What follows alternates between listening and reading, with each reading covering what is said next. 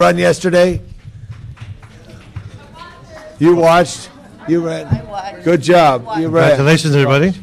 Good. All the folks in wheelchairs, people in crutches. It's amazing. We're going to get them in here right now. The alley spirit. A great day, uh, great day for Los Angeles. Arts and humanities are a key to the success of a city. Mr. Reyes and I, uh, also our colleague Mr. Wesson, strongly believe that. Ms. uh, Schechter, if we could get a few more staff chairs right here, that would be good. And if you need any help, let me know.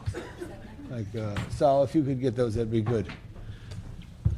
So basically, uh, I'm going to open the meeting. So, Madam Clerk, tell me when you're ready to open the meeting. Would you like to begin the meeting at this point? I would do that. Okay. There are two items before the committee this morning. Yes. Uh, Item one is the discussion on the Department of Cultural Affairs' current budget, their submittal for the 2010-11 budget, the impact of the early retirement incentive program, possible restructuring of department operations, and other related matters. There's also item two on the agenda, and that is a motion, Hahn LaBonge, relative to instructing the Department of Cultural Affairs to contract with Grand Vision to operate the Warner Grand Theater if there is a gap between the selection of a permanent operator or the department cannot continue to operate the facility. Uh, We're going to hold number two for a report from the 15th district and their representatives at that time. We take number one first. Uh, Just to let you know, the city of Los Angeles, as in all parts of, uh, I don't think there's a person in the room that hasn't been touched by the economic crisis that has uh, fallen upon the world, the United States, from Wall Street to Washington to Sacramento, now here to City Hall, and now here to Barnsdall, and to Holden Performing Arts Center, and to the Watts Towers, and to other places of great opportunity for art.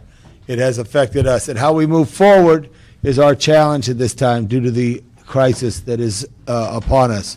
We're waiting for a representative of the city administrative officer to come to discuss the issue, which is very important, Mr. Reyes, on the basis of what is required for the transit occupancy tax that goes to help support the arts. That it's not general fund money, but it's transit occupancy tax. We in Los Angeles have established through the vision that those who visit help us promote the city. Our uh, variety of sources come to Los Angeles for our taxation, but those who stay in a hotel in Los Angeles pay an additional tax which goes to the arts. And we're going to have that clarified. Uh, what I'd like to do, we have a lot of cards. I want to hear from everybody. We run a one minute clock in this committee when there's more than five cards. And there are more than five cards. If you need a little extra time, you're very much welcome to take that uh, as we go forward. But on this issue here, this committee has had uh, under its charge a variety of functions within the arts, parks, health, and aging. We had the uh, a, a full hearing on our Department of Disability, a full hearing on our Department of Aging, a full hearing on our library department, uh, and we're having a full hearing on cultural affairs, which will also have a full hearing on recreation and parks and other entities behind us. With that being said, I'm going to get you a little more. You get a chair for your staff person right there, real quick, so you can get comfortable right in there. So we got that right there. Do you want a chair? I'm fine. Okay, good. Okay, what we're going to do here, because I do want the city administrative officer to be here. They're not here at this, so she's on here at this way. If I could call for public comment right now, and you could uh, make your points. As I said, if you need additional time, let us know. Uh, We're going to fill up these three chairs right here. Uh, Sheila Lair, Lisa Adams, and Paul Gamberg.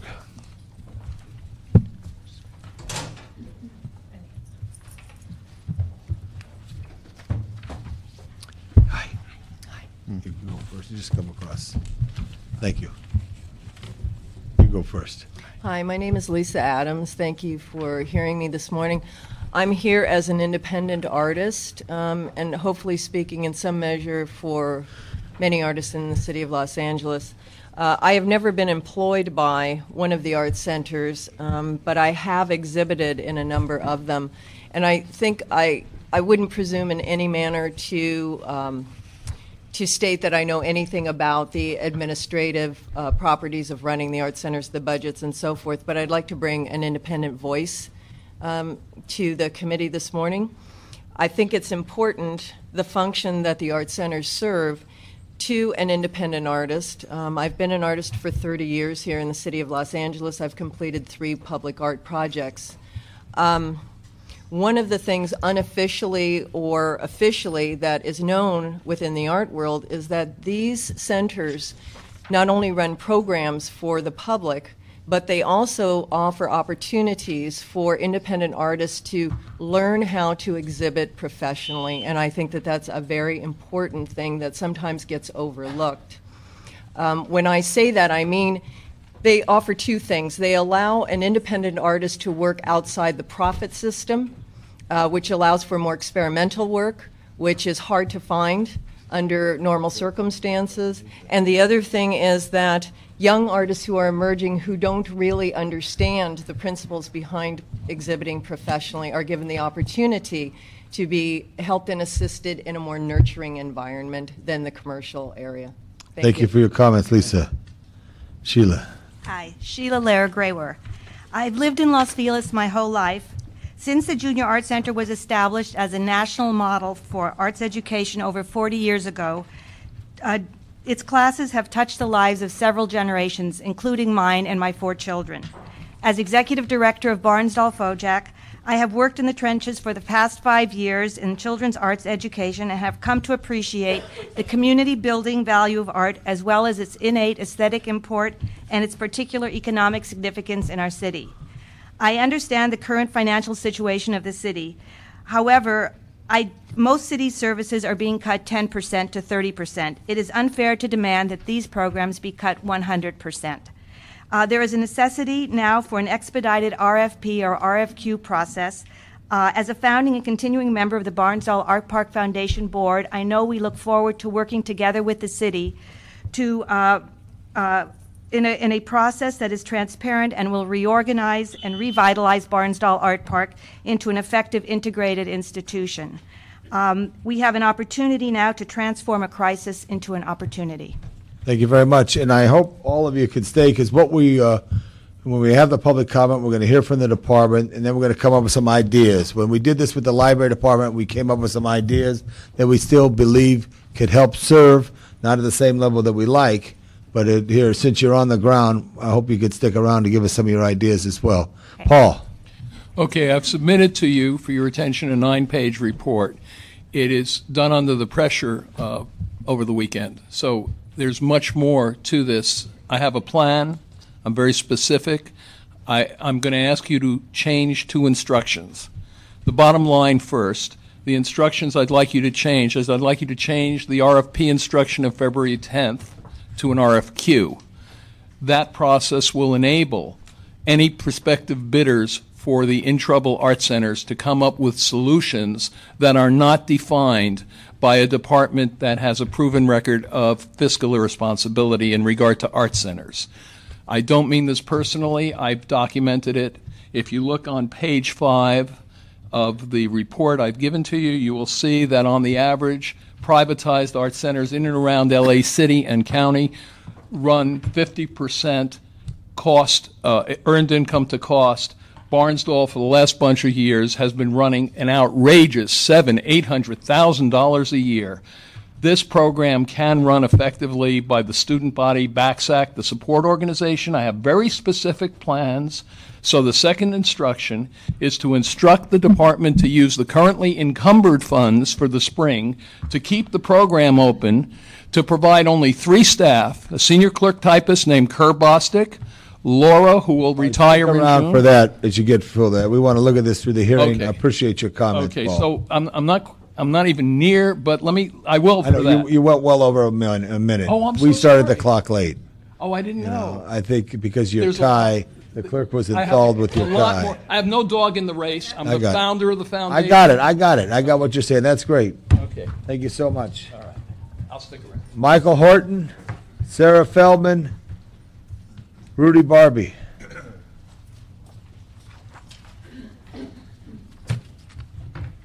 One minute, huh?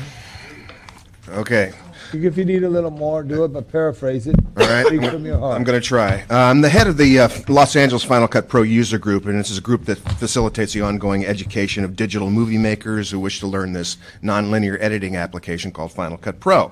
Now, we meet at the Gallery Theater at Barnsdall Art Park once a month, every month, and have for the last six years. Now, six years ago, we were looking for a meeting space and found the Gallery Theater. And the Gallery Theater was perfect, except it didn't have the necessary equipment for our meeting space. So what we did is we all went out and begged several companies in Los Angeles to help us gather this equipment. So we t- we did this and we installed it into the Gallery Theater. And for the last six years, the community has been able to use this digital equipment.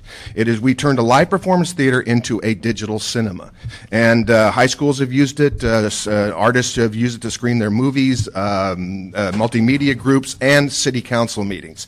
You people have been able to use this equipment for the last six years. Now, I've only heard about this closure on Friday. We have like a two week notice before everything closes down. So, what I'm here for, to paraphrase a five page uh, uh, speech I'm giving here, we need more time. We need solutions, we need creative ideas, but nobody really knows what's going on out there. There's been no transparency. The, for, for all I know, the Barnsdall Art Park could be profitable. All I, I don't know how much it's draining from the coffers. I don't know anything. So give us more time. Give us three months to put this thing together. We will find a solution. We always do find a solution. There's a will of the people here. There's a lot of people here. So give us some more time to find that. I want solution. you, you know what I found out? Friday. I'm disappointed. And that's when I found out, too. So That's we- we not share enough that time. disappointment. Michael, thank you for your comments. If you have a copy of that, I'd like to share that. Sarah? Uh, Good morning. My name is Sarah Feldman. Uh, You both know me in my professional capacity, but I'm here today as a citizen of Los Angeles, born and raised, and a resident of Highland Park. Uh, uh, as a child, I went to Barnsdall. I studied, I learned about photography and etching and film. I'm not an artist, but I learned to appreciate art in a really visceral way that has served me my entire life. Uh, when my son, who is an artist, reached middle school, uh, he attended Barnsdall through Reagan Art Academy, a special program and the only one for middle school students in LA. And that helped him embark on a lifelong uh, professional artistic journey. For me, for the past four years, I've gone to weaving class at Barnsdall, and it's been a tremendous asset for me. While there, I see hundreds of children, about 80% of them children of color, learning about every aspect of art education. If I could just take Keep going. 30 more Keep seconds. Hey, ladies and gentlemen. A short- Let me just, just make this as the chair. We're running a one-minute clock. You need a little more. Keep going. Okay, So feel comfortable. So as I'm saying, I see hundreds of children there, uh, al- almost all really children of color who come from the East Side, Hollywood, and the surrounding area, and I see an also extremely diverse group of adults. Um, the who are learning and growing artistically, and the Junior Art Center is the only place I know east of La Cienega where both children and adults can gain art experience and knowledge. It's one of the only affordable places uh, for us to go, and it's an icon of LA. It's been around for so long. When I was a kid, it's over 40 years ago, I regret to say, but it's been used by the population of LA for all that time and Where'd you go to high school? Fairfax. Oh, that's all right. I went to Marshall. so- I know. Good job. My son went to Marshall though for Okay. one year, so good we're job. close. Okay. Um, I can afford to pay more, you know, I can, and and I would, to help keep Barnsdall and the Junior Arts Center. I urge you to consider innovative alternatives to slashing and cutting, sliding scales, use of nonprofit Sarah, Sarah, if I may interrupt uh, before the time is over, Yeah. do you see a um, a critical mass of parents? I'm not saying who would pay, but who would be able to contribute either volunteer hours and or supervision that would offset some of the economic and fiscal pressures of the center. I do. I absolutely do. I know I would have when my son was there, and I know the parents who are there now would. They clearly value the arts education their kids are getting there. That- that's the, so that's the much. restructuring and redefinition of these centers need to go through, and that's uh, a critical question and, and uh, some soul searching we all have to do. I Thank think you. so, and I think all of the parents and all of the adults who go there um, would be willing to contribute in a lot of different ways. So, just to conclude, I urge you to consider um, a lot of the ideas you're no doubt going to hear and already have heard here today, but please don't just close this last bastion of quality, affordable arts education in LA. Thank you, Sarah, very much. Rudy. Good morning, members of the committee, and to Mr. Wesson in his absence, uh, Mr. LaBonge, Mr. Reyes. My name is Rudy Barbie. I'm with the Friends of the Watts Towers Arts Center, uh, representing today actually three support groups: the Committee for Simon Rodia's Tower and Watts, with respect to the towers, the Watts Towers Community Action Council, which during the time during the 60s and 70s and uh, participated in a void of, of providing um, uh, cultural education and awareness to the community for that Watts Towers Arts uh, centers as well as the campus as a whole. Uh, which is commonly referred to, by the way, as the cultural crescent. That's the area geographically between Wilmington and the train station. It provides that um, that type of a view. Wilmington Avenue. Wilmington Avenue and and uh, 103rd and the train station. Thank you very much. Um, presented to you at my request are bags uh, to each of the members of the committee, uh, which are exemplar of the type of work that's been going on at that site. Um, a- and it's important not that we're any better than anybody else, but it, it has to do with this point. Oh, also, and I wanted to draw your attention to the annual report that's provided by the general uh, manager, Ms. Uh, Garay, and I trust that she, as she articulates those points, that you'll uh, uh, take heed to the, the issues that we've been doing there. And I say we because I, I consider myself a volunteer and part of the, the staff that who also volunteers a lot of hours, which I think were referenced earlier. Um, in 2004, then Council Member Villaraigosa commended then Mayor Hahn for withdrawing what Mr. Villaraigosa called an ill-conceived. Condemned, not commended. Yeah. Well, I didn't finish. I know, because I I, want to make a point. that. But Yeah. no, but he he commended. He he commended. It's my paraphrase Okay. from the what he considered the withdrawal of what he considered to, to consider a, a ill-conceived uh, model. That that was my point, and and and it had to do with the removal of the of visitor uh, tax, which I'll just term layman's terms, hotel tax, uh, from the coffers of DCA to fund it. So, but you as elected officials need to know what happens after those decisions are made. Staff and the support groups and the independent artists then realize that they need to be on par with tourism and the cultural education and arts community. It can't be us as um, supporters of programs and them as artists and then them as uh, visitors to the city. We're all in the, or, or LA Inc. as a separate entity. So I just want you to know that there was, it may not be as organized, but there was a symbiotic, there was some synergy that actually occurred there from 2004 to now um, there was an increase in improving customer relations, enhancing the programmatic aspects of docent engagement with the public, um, uh, and, and an overall uh, raising of the quality of attractions, performance, and, and, and exhibitions. So my, my point is, is for the last six years, you've had individuals, both in support groups, volunteers, paid staff, really trying to turn this place around. Right. These, okay. So what I presented to you, and I, and I apologize, we had to sacrifice trees, but it was an ambivalent type of decision to make a point that several hundred children, visitors, i- international, local, in constituencies, as well as domestic within the country, and that have visited the Watts Towers campus over the recent months and make a plea uh, to the mayor and to the council of Manic Collective to keep these centers open, to find alternatives for funding and fiscal responsibility, and whatever people have to Excuse do. me, may, we'll- may I ask you a, a blunt I'm question? sorry. Yes, sir. When you refer to tourism and the number of visitors going to these facilities, do you see that as an untapped resource? That if we were to structure a different type of fee program, that you could perhaps be opportunistic in generating revenues, given the number of people that do visit? Is that something that is possible? Is that what you're saying?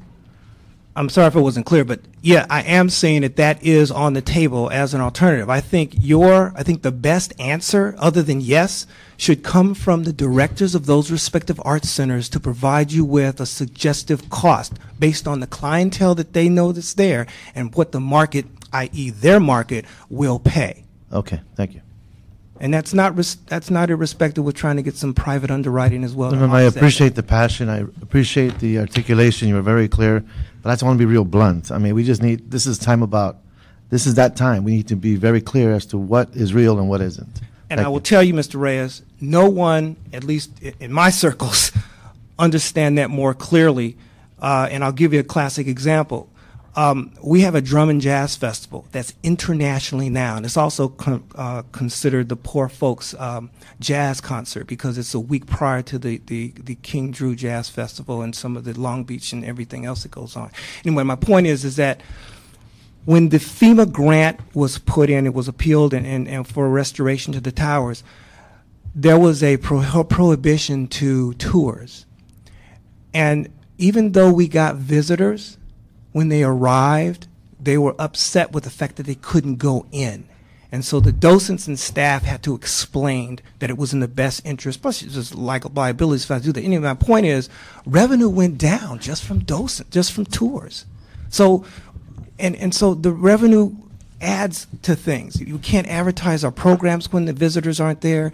We can't advertise the, the various other exhibitions that are not there. So we, we, we know the value of a dollar. We know the deferred gratification of visitors coming into Watts. We know the gravity of what that means. And so, uh, again, since 2004, there have been a lot of entities working with police, working with uh, gangs, working with everybody else to make sure that they have a quality arts and cultural educational venue with which to come to in Southeast Los Angeles. Thank you. Thank you very much. We're going to have Edward Landler, Clara Knowlton, Miss Si- uh, Miss Singer, is that correct? Mr. Singer, Nathan Singer, sorry, and uh, Victoria Gaw. Here we go. Okay. Uh, my name is Edward Landler. I am the producer of a feature length documentary about the Watts Towers, the, the history of the towers, and of course, in making this film and my involvement with the Watts Towers has brought me, I hope, a historical perspective on the arts, as well as specifically the Cultural Affairs Department, and most specifically with Watts Towers Arts Center and what goes on around the Watts Towers. Uh, if anything, the towers prove that you don't, the art comes out of each and every one of us as individuals from inner necessity. It doesn't come from uh, having to go to schools. However, art itself i and the nature of it is a school. It's through the arts, through stories, through all the things that we create that we express our view of what the world is. We learn to understand the world through the arts. Uh, it is central to the functioning of a civil society. The Cultural Affairs Department, uh, going back more than 30 years, going back to when it was the Municipal Arts Department, was a forerunner, set a standard for arts programs, arts education, and festivals throughout the country. For us to cut this here in this city now would take away the, the, the leadership that Los Angeles once had in showing what how culture helps form our civil society and brings peace and understanding and a greater uh, sense of education. One last thing I would like to say that uh, I am concerned about that this is the Arts, Parks, Health, and Aging Committee. Each one of those things deserves its own committee. Is this a reflection of, wow, we're putting them all together because we have nothing for all of these things. It could, this call, is what it, could, it could- could be called public humanities, and it probably should be, because the three things that affect us all each day is the public safety of the city, the public works of the city, and then the public humanities. But we appreciate, Edward, what you spoke of, and we want to hear from everybody, and passion is real important here. Ideas are what's going to get us to tomorrow. So we're going to open that up in a little And bit we for have ideas. those ideas. Thank you so much. If I may, Yeah. um, Mr. Uh, Mr. Chair, what's been very clear to the elected body of this city and when you look at the budget, 70% of the budget goes to sworn officers, police and fire. The balance is 30% of what's left for all of the other departments. And so therein, I believe, is the focal point of the discussion for the next few months. Yes, and And that's if- where the public input comes into play. we would not have to fall back on sworn officers as we do today if we paid more attention I agree with you. to the complete- basis. I of- agree with you completely. I agree with you completely. My name is Claire Knowlton, and I'm the executive director. My name is Claire Knowlton. I'm the executive director of McGroarty Art Center, and we are an example that has made it work. McGroarty was run by the city for over 40 years, and in the mid 90s was privatized um, because of budget cuts. And I would like to speak to what pieces are key to making McGroarty a success when there are half a dozen other partnered centers that have really struggled and floundered. The key is to have professional staff who have the time to create a fundraising program, and that includes fundraising from individual donors as well as foundation grants. And that's not something that you can build in two or three months, it takes a couple years what we were able to get when McGroarty was privatized and what I'm advocating for all of the groups here is that the city was able to provide some funding. It wasn't 100% of the budget, but it was enough of the budget to be able to hire those professional staff members, to provide some sort of security to attract the people who have the skills to put these programs into place. And then over the years, um, the funding reduced. So in our first year, about 70% of our budget came from the city. A few years later, it was only 20%, and today that same contract is less than 5% of our budget. So I would recommend that the city um, not leave these uh, centers with zero dollars, which is sure to make them fail, but give some gap funding until they can build the systems to sustain themselves. Thank you, Claire. Nathan. Yeah. My name is Nathan Singer, and I am the president of the Barnsdall Art Center Student Advisory Committee, a nonprofit organization. Um, and I represent 1,500 people who, over the course of a year, use the Barnsdall Art Center. Uh, again, uh, I, we, I, I would uh, uh, second her message in that what we need is time to deal with an RFQ or RFP and uh, deal straightforward and honestly with the city in this issue and allow us the time to put together our funding and get people in place. There are major, major companies in the industry, the, um, the, the uh, uh, Blick Art Center, the Blick Art bus- businesses, in Winsor Newton, Grumbacher, and so forth, who, who might come in to uh, help us out with grants. Now, just give us the time, keep us open and running with the time to, to make, make these connections. And thank you very much. Thank you very much, Mr. Singer. Uh, A hat, this is- I- I'm sure this is going to show up in about 50 years on Antiques Roadshow and be very valuable. Very good. Enjoy. Very good. All right, Victoria, Victoria Ga. No, no, you're not the last. Anna Weiner, Nyla Oslanian.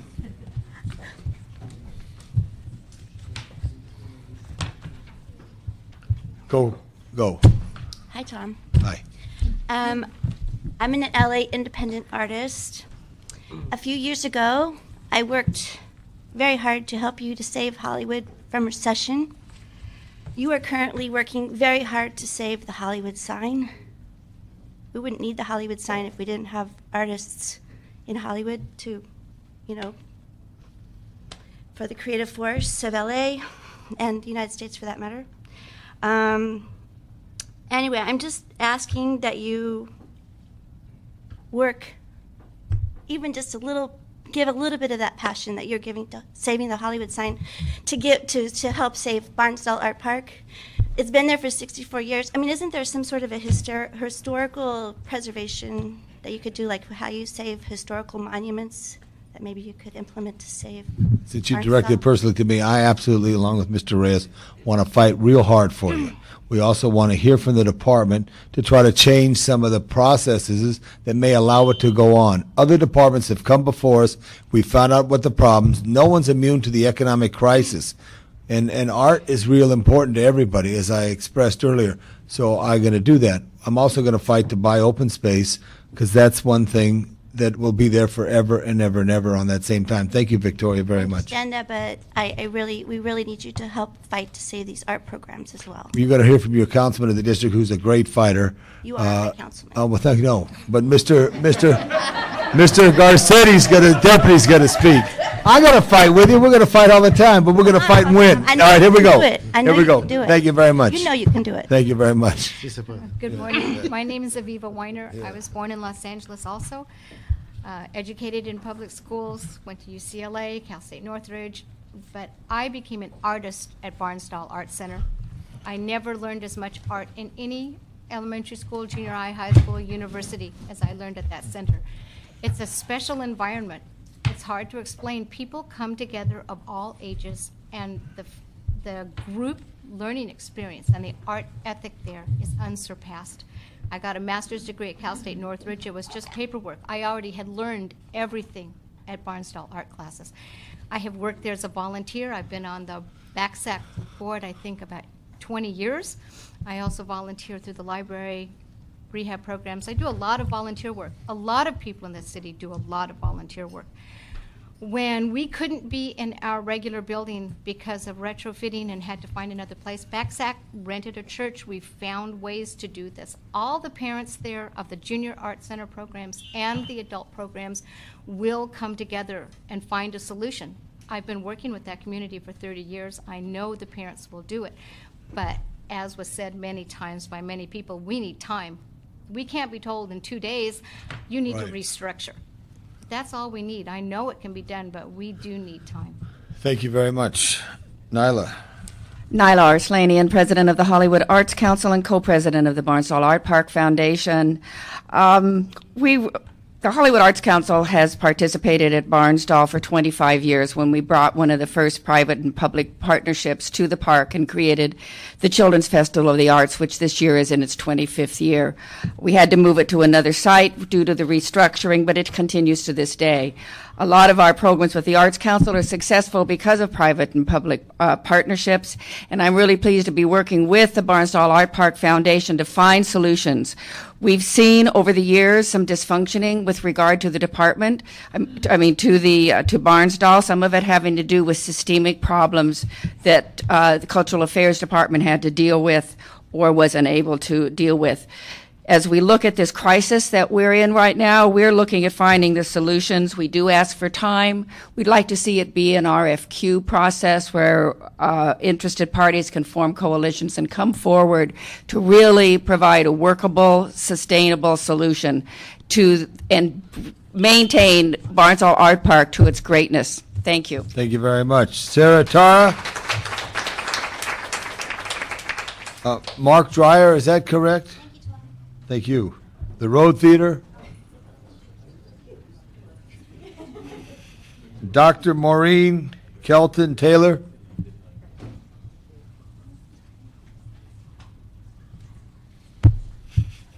Good Hi, morning. how are you? How are you? I'm okay. Wait for the rest of my party. Hi, good morning. I'm Suzanne Terra, and I am a homeowner in Toluca Lake, and I am a uh, theater professional. Uh, I represent the Road Theater Company at the Historic Lankershim Arts Center in North Hollywood.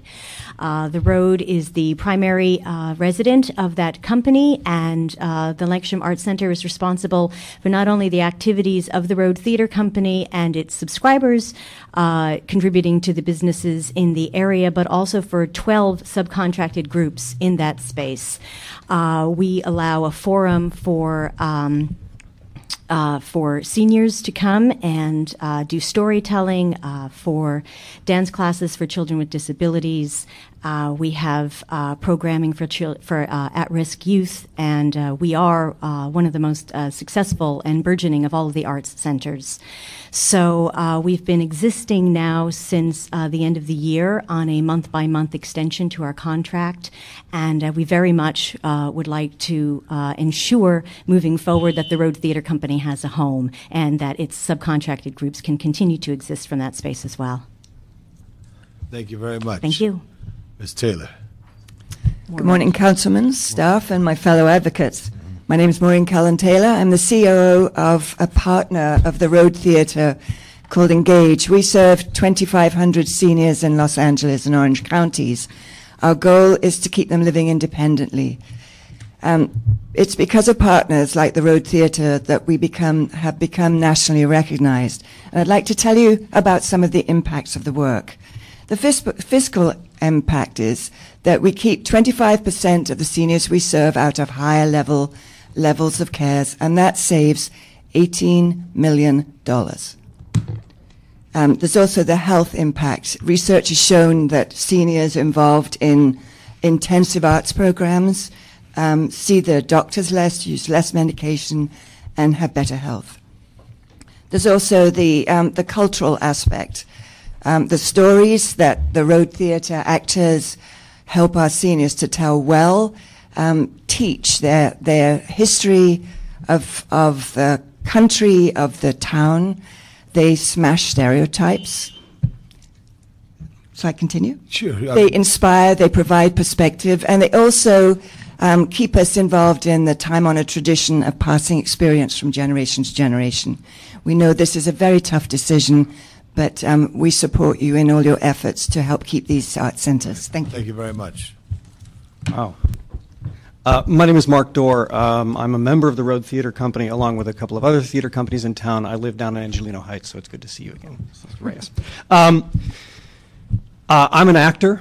Uh, I work in film and television, but my um, my soul is in theater. I'm a graduate of the Juilliard School, so I lived in New York for a number of years. Um, on a large scale, one can look at the theater community in Los Angeles as very disparate. Um, I was at a when I got the call that this was going this meeting was going on. I was actually in a, a, a conference where they were talking about uh, a, a, new study that's being done um, on ticket buying habits of theater goers, and a, a the largest, the, now the largest database of, the, of single buyer, single ticket buyers in the country is here in Los Angeles, after, with only 20 small theater companies, including the Road Theater. Um, it beats Philadelphia, which has been doing this for about three years, which only has 1.75 million. Um, on a small scale,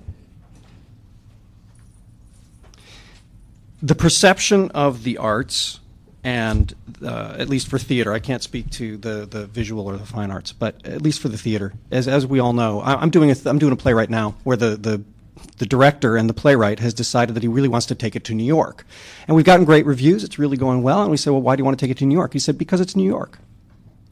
Um, I think that speaks just to a bias against theater in Los Angeles, and I think that shutting down, basically by by uh, going on the month-to-month RFPs that we are at the road, you would be effectively shutting down a 19-year-old uh, uh, organization that has been serving the youth, that has been serving the elderly, that has been serving. Um, a population, and, and we're trying to grow that population of, of teens, grow a population that needs to be served, that wants to be heard, and needs to have their voice. Uh, uh, I'll say it again. Heard. I got it. Yeah. We want to hear everybody yeah, today. Time. So I guess that's what we're so really much. looking for if you want to plug. Thank you. What was your name again? Suzanne Terra. Suzanne Terra. I got that right. Okay, good. We're okay, Ms. Schechter. Call that person up right now.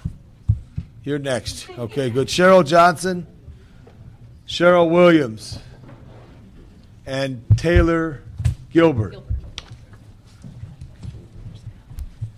Okay. Good morning. I'm Cheryl Johnson, President, co-president of the Barnsdall Art Park Foundation. We have three requests of the city as they approach restructuring at Barnsdall. Number one, we ask that the city consider including all DCA park functions into a single RFP or RFQ. The city losses through DCA operations uh, in the park exceed a million dollars, and we think with benefits and payroll taxes, they exceed 1.3 million. Of that amount, only 60% is represented by art instruction in the theater. Um, and we think that these losses also uh, result in part from the many bureaucracies that are established in the park that also deter advancing the overall interest of the park. We think by ending the park's balkanization, by having a singular RFP for the operation of the entire park, the city can increase, can, can shrink those, its losses by another 40% in the park. And it also has an unprecedented opportunity to bring a singular vision and leadership. This is something that the master plan for the park identified as being critical for the park to achieve its potential as a world class facility. We also would ask that the city um, expedite the RFP process. Barnsdall is one of the city's costliest cultural facilities and also its most important. Um, there are many templates and models that are available that the city can use to advance the privatization, and there um, should be all due haste given to uh, minimize the disruption in classes and services. And finally, we ask that the city recognize its legal obligation to operate Barnsdall as an art park as Ms. Knowlton so vividly testified, the city must recognize that we will, by privatization, be able to eliminate some of the losses, and in fact, the majority of the losses at the park, but not all of them, and that some subsidy is necessary. As Tom well knows, we're busy building a huge new sign for the park. We don't want it to be a tombstone. We want it to be a beacon for change. Very good, Miss Johnson. Very good. I'm actually Arvis Jones. You have a card there for me, but Cheryl Williams wants me to use her time too. Um, I come in a little different. You're Cheryl Williams? No, I'm Arvis Jones. She's. I'm using her time and mine. She had me come up in her place. Well, you could you she, you you you don't you can't trade time, but you could use as much time as you need. Okay, got it. Cheryl doesn't want to come up. Got at it. all. Okay, good. You're good. Thank Um, you, Cheryl. So I'm Arvis Jones. I'm the assistant director of the Center for Grief and Loss for Children, Youth, and Teens. Um, I remember the two of you when about a month ago you offered a $75,000 reward for my son's killers. He was 39, staying on the porch smoking a cigarette because his wife was eight months pregnant, and someone came along, thought he was someone else, and shot him. I have been doing this work in grief and loss long before that. I'm also a music therapist. I'm the Western Region Director of the National Association of Negro Musicians, and I'm a part of the Watts Gang Task Force also. But I come to you representing the William Grant Still Arts Center.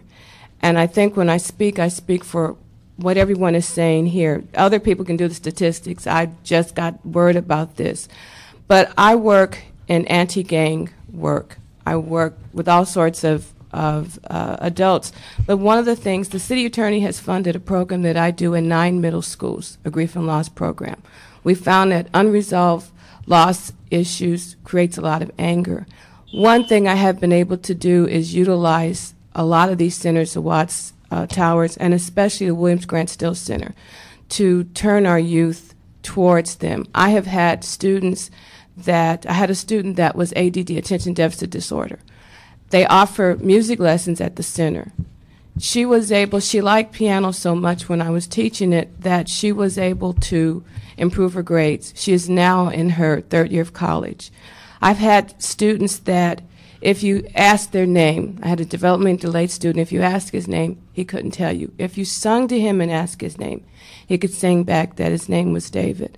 There's another thing.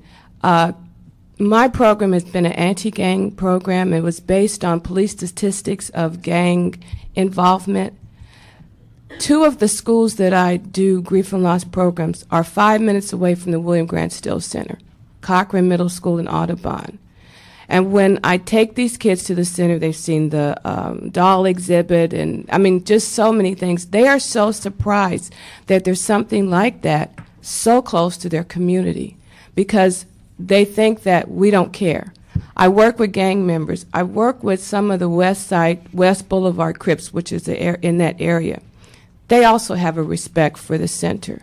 And one of the things that I'm trying to get our youth to understand is that we do care about you. It is really a, a shame that our youth don't have any experiences. I took a group of kids from Watts to the David Geffen Theater, and some of you know about Bebe's Kids. One of the some of the kids saw the wishing well fountain there, and all he could say was, "Look, there's money in there." He didn't even know what a wishing well was about. All of our centers are especially, we talk about at risk youth, but I work with these children day in, day out. Um, it's a place, the William Grant Still Center is a place where they can just show up. We have music lessons, we have art exhibits, and it changes the brain waves of our children. There have been statistics showing that if, and I know someone said that they're the only place east of Los Angeles. That's not so. We're east of La Brea. These kids are so surprised. You know, we have things downtown, but this is a place where their parents can take them, they can walk. They've never had this experience. If we close these centers, especially if we close them right now before we have a time to get anything together, you can bet you that your crime statistics are going to go up. Yeah, we have a question for Mr. Reyes. I, I want to pose this question too. I posed it before. Um, when we're dealing with uh, difficult areas where you have parents working two jobs and you have the the pressure of poverty that you do feel in pockets like the ones you're speaking of, um, even that uh, environment uh, creates doubt in terms of will the parents step up? Will the parents volunteer more? Uh, I I cover Pico Union, Westlake. I cover some of the toughest neighborhoods in the city as well. Um, but being able to structure uh, an approach to allow parents to participate, would that be realistic in a center like the one you just? I think so because the pro- the thing that, that we don't recognize is in other communities, parents are aware of how much the culture and the arts help their children. So when you get centers like ours that are open and parents' eyes are open and they see their children improving, they see their grades improving, they see they can be someplace where they know they are after school, they are helping now. When they heard about this closing, they were like aghast. There's other organizations such as I was getting ready to try to get the National Association of Musicians, we're a scholarship organization, to partner with uh, the William Grant Still Center to help them with offering their lessons. So, yes, the community, but you've got to remember if these places weren't in the community, some of those lower economic parents, who are good parents, wouldn't even know they existed. This is Right. some of their first um, forays into the arts and the culture because all they think about sometimes is working, feeding their children. And when they see that this is available to them, they would step up to the plate. Okay, thank you. Thank you very much. Thank you for your comments, and sorry for your loss of your son. Thank you. Thank you for allowing me to speak this afternoon or this morning. it feels like this afternoon. Um, I'm a programmer, not a public For the record, state your name. My name is Taylor Gilbert. I'm with the Lankershim Arts Center and specifically the Road Theater Company. Um, I, I would just like to mention that the Lankershim Arts Center does um, a myriad of programming from youth at risk to seniors. We have visual arts programming as well as theatrical programming. And instead of going over all the things that we do, I would like to read a letter from a local playwright um, that is aware that we, at this point in time, have no security as in regard to a lease or space for the next 12 months, which deters us, of course, from going after all the people that help us. All of the donors that are there to want to give us money. In good faith, we can't ask them for money unless we know that we're going to be in a space. Um, all the subscribers that we have, we can't send out any kind of uh, programming to them to ask them to come and participate without knowing that we're going to be in a space. So we're sort of cut off at the knees at this point, and I know with your help we will will secure uh, the the area and the space that we need. But I would like to read this letter specific, specifically from one of the Los Angeles playwrights. The Road Theater Company at the Lankershim Arts Center occupies a unique niche in the artistic scene of Southern California. No other company produces so many high quality new plays. The Road is where plays are born, including four of mine, and he lists them. None of these award winning productions would have happened without the Road Theater Company at the Lankershim Arts Center. Their intimate space at the Arts Center is the perfect size for premiering new work and connecting deeply with a passionate local audience, not only v- Valley folks, but folks from all over California. It has thought, it, thoughtful and adventurous theatergoers. Art, artists flock to the road and the Lankershim Arts Centers as well. Actors, directors, writers, designers of Southern California hold this theater scene in high regard because we know we'll always get a good produ- production with integrity and outstanding attention to artistic detail. It is a wonderful place to work and a fantastic group of people.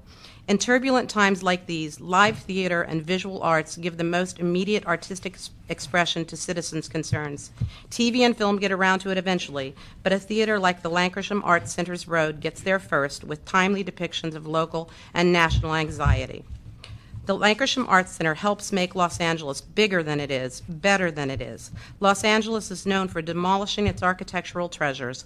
Let's not destroy the cultural treasure that is the Lankershim Arts Center and the Road Theater Company. Please find time to find a way to extend the road's lease beyond its upcoming expiration in, I believe, 45 days. Thank you so much. Thank you very much. Thank all of you very much. Nancy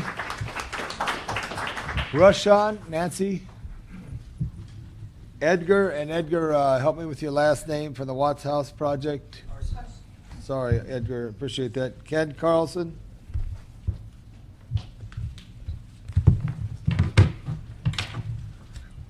Begin. Thank you.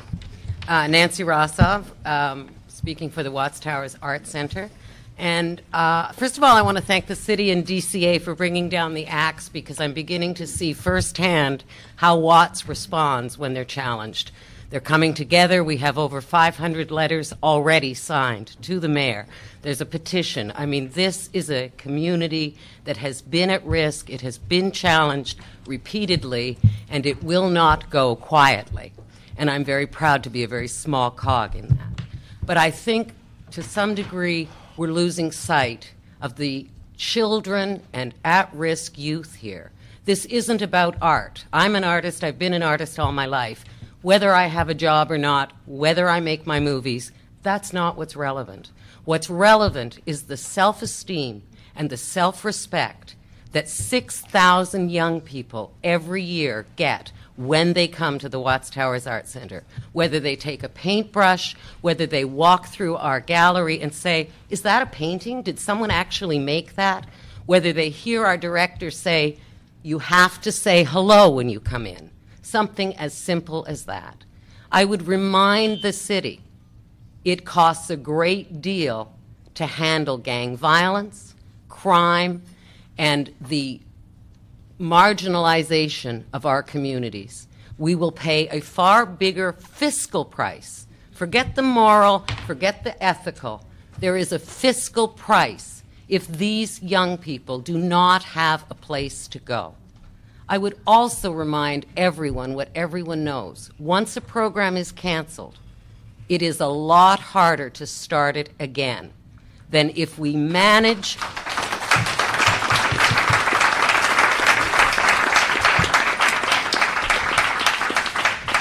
if we somehow manage to keep our programs going for the next few months until we can come up with some of these solutions. Everyone understands that our city is in fiscal jeopardy, our country, the globe, is in fiscal jeopardy.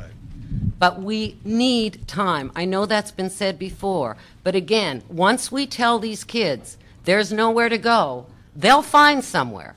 And it won't be anywhere as positive as Barnsdall, as the Watts Art Center. We have to find a way to keep our art instructors employed so that we can continue our programs. The small, really, relatively tiny budgets that we have for art supplies. Good job, Nancy. Appreciate that. Thank you. Hello. Um, uh, hello. Um, my name is Edgar Arceneaux, and I'm director of the Watts House Project, which um, is a collaboration between artists and architects working with the families directly across the street from the Watts Towers to transform their homes inside and outside, front yard and backyard. Um, I want to say thank you to the to the council members for allowing me to speak, and also I wanted to say thank you to Ms. Arthas for personalizing um, what this really means to to kids and to individuals, um, what the uh, what the Watts, Watts Towers Art Center can offer. Um, I'm here today to speak as an advocate for the neighbors who often aren't heard, um, and also an advocate for the neighborhood. Um, I'm the director of the Watts of, of the uh, Watts House Project, but I'm also an artist, and I've exhibited around the world from New York City to Berlin, Cologne, Amsterdam, Paris, Dusseldorf, um, to Los Angeles. And in none of those cities have I ever encountered an art center that possesses the unique qualities that the, that the Watts Towers Art Center does.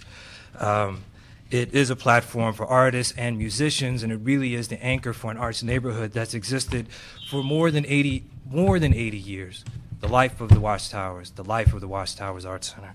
Um, it's a, it's, a, it's a, a repository for history for artists who have operated in that neighborhood for decades, for generations of artists that have operated in that neighborhood for decades.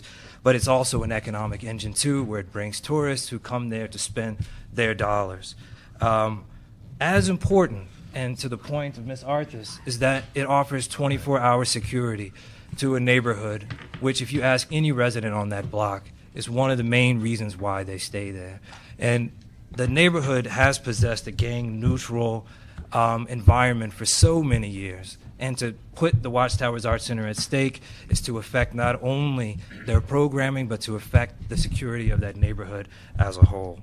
Um, I mean, this, this place has been, this has been a place where families on that block have had schooling there for generations.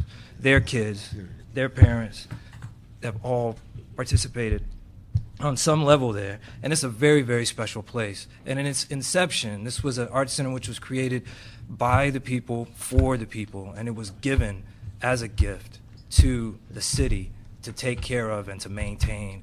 And this gift now needs to be reassessed. Its value needs to be reassessed because if you put that at risk, there's 80 years of tradition which will be lost, which will be de anchored. We need you guys to save the Watts Towers Art Center. Edgar, thank you very much. Hi, my name is uh, Ken Carlson. I'm on the board of directors of Artist Community for Change Los Angeles. We're a nonprofit organization that basically takes um, artists of all different disciplines visual artists, dancers, musicians and we try to use our talents to um, promote positive social change. And we conduct about two or three performances a year at the Barnsdall Gallery Theater. Um, and it was really um, the facility is is completely unique and and it's perfect for what we try to do. It's uh, you know has the right number of seats. It's affordable for a new upstart nonprofit organization. And it also has, thanks to the um, LA Final Cut Users Group, uh, a whole digital media projection system, which really allows us to um, combine the visual arts with dance performance and music, which, which is really unique um, for a facility uh, of that size. And I definitely, you know, would urge everyone um, on the council to, to please do what they can to support the Barnsdall. Thank, Thank you very much. Uh, appreciate that. I'm gonna have I'm gonna hear all these cards right now, but I think we should hear from the department right now to try to find some solutions as we go through this uh, program this morning. So I'm gonna uh, keep the public hearing open, but I'm gonna lay it aside. We've had 21 public speakers. We have about 21 here, and hopefully get some ideas. If I got to ask the general manager of the department, the assistant general manager, and the CAO to sit uh, at the chairs right there. They don't want to close anything. There's no question about that. So we have to think of creative solutions. And I've heard some ideas uh, absolutely above and beyond the real passion of life and how important these centers are to all people. And uh, so here could we go to right now. This is Olga Garay, who is the general manager for cultural affairs. Could Good morning. Um, first, I want to thank the committee, and I want to thank um, all of the Department of Cultural Affairs staff who um, have been absolutely um, present and accounted for, and who it's so palpable how much they care about the work that they do and um, how much they care about the communities that they're in. I also want to thank everybody in the audience. Obviously, um, these centers are of extreme importance to so many people in Los Angeles, and it is um, you know, a very sad day that we're here to talk about um, reducing the commitment, uh, financial commitment, and uh, human resources commitment to these centers. Um, If I could give you this exhibit here, because the funding is the key, and I know the CAO's office is here. Certain things apply to the uh, issue of the governance. There's about 40 departments in the city. I'm looking over you, Olga. Uh, anyone who lives in Los Angeles, you pay for 100% of, about 99% of everything that it costs to go with the Bu- the Bureau of Sanitation. Through a sewer service charge, through a collection charge. You pay for that service. Other departments, though, get their money from general funds. The fire department is general fund, except for the inspection area there. The police department is almost all general fund. Uh, that is our challenge right now. But uh, in the wisdom, and uh, if we all recall the name of Joel Wachs, who was a very fine councilman uh, from uh, our city, uh, the TOT, which is the transit occupancy tax, which is not general fund money, but taxes that we collect from those who visit our hotels, helps fund it. And Ms. Schechter, you do have a copy of this. If you could just pass it out. This is our basis that we're going to try to look on here as we go to this fight. That there's a certain uh, establishment that we're starting with. This is for you. And if you could explain this to everybody as you see it and tell us what challenge you are, because we don't see the tax that is collected at a, I'm speaking for Mr. Reyes now, we don't see the taxes that are collected at the hotel under the transit occupancy taxes as general fund taxes. We say them specifically to go to the arts. So this is our first, uh, we have to establish where our money comes from. So Olga, if you could look at that, this is prepared by the CAO, thank you. Um, the administrative officer. My understanding is that this, the city of Los Angeles collects 14% on every dollar that is spent at a hotel in, within the city limits. Of that 14%, the Department of Cultural Affairs receives 1%, which typically is the 9 to 10 million dollar range. That's our operating budget after about $5 million or so have already been taken away from that figure to cover um, pension and human resources and the cost of our facilities, maintenance, water, all of that. Um, from that nine to ten million dollar annual budget, that is our core budget, and from there, staff salaries are paid. Uh, our the grants program is um, is um, generated. So we give about 260 grants to arts organizations a year. And then the cost of running these facilities, art centers, theaters, historic sites, et cetera, also comes from that amount. And most of the people here are from f- facilities. Is that correct? Right here. Is anybody just uh, not from a from a center? Uh, okay, so we'll talk that. All right, we got that view. Thank you. So, as you know, about maybe six weeks ago, there was a um, recommendation or a motion that was entertained by the city council that recommended that the TOT no longer be um, directed towards arts and uh, culture programming. And in my opinion, that would have effectively shut down the department. That decision or that recommendation was not accepted by city council unanimously uh, because it would have meant the death of not only of the entire department but all of our the grants that we make to community-based groups and individual artists. It would have meant that um, all of our facilities would have closed. Everything would have gone away if that money had gone away. Um, with your help, we were successful in, in retaining those funds for art and cultural programming. What we're here talking about, and I thank you for that because I think that that was one battle that was that was won with the help of um, Arts for LA and the arts community.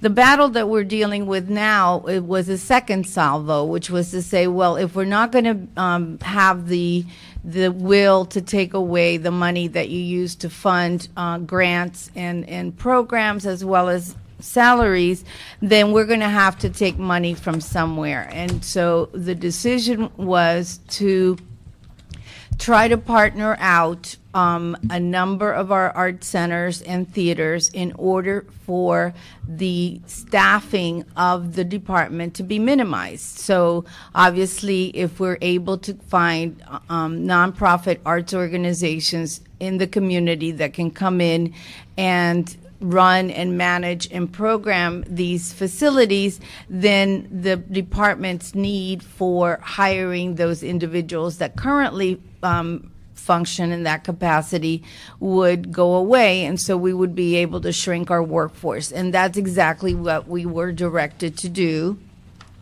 Um, as part of this, um, you know, shrinking of the overall city's um, um, staffing. Um, and a week ago Friday, uh, we received uh, a notification from the CAO's office as to exactly who the 15 individuals from the department who work uh, for personnel, excuse me, not. But who, who selected that? We worked with the CAO's office and personnel and the mayor's office to say if these centers are going to be partnered out, then these are the individuals who work at those centers who then ostensibly, if they don't have seniority and bumping rights, would no longer be required because other people and other organizations would be managing these centers.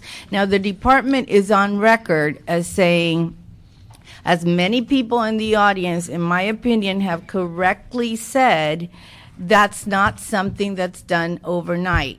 Finding a viable community based arts partner that can come in and run a center responsibly and with the capitalization that is needed to make them still support their communities is something that we cannot turn around in a short period of time. So Director Garay, may I interrupt you there? When you speak of people being asked, well, for the management to consider X personnel to leave, are the resources there in the budget to allow them to stay for uh, No. the duration of the year? No, not the way that that uh, we have been negotiating the budget. First of all, there is um, there was seven hundred immediately. We were we Oh, were but under. let me put it this way. By not having the personnel, can management still continue what No. programs exist? No, we cannot. So one equates with the other. Correct. So we had thought that any personnel would have to leave affected by these um, partnering out um, strategies would have to leave come July 1st. A week ago Friday, we were um, we were sent an, um, a memo from the personnel department um, directing us to immediately start the layoff process. Okay, let me ask you another question. When that directive came from the mayor's office, were the council office notified of that directive and of the impact of that directive? I don't have the answer to that. That's important for me to know. I- Councilmember uh, Saul Romo, the Assistant General Manager for the Department of Cultural Affairs.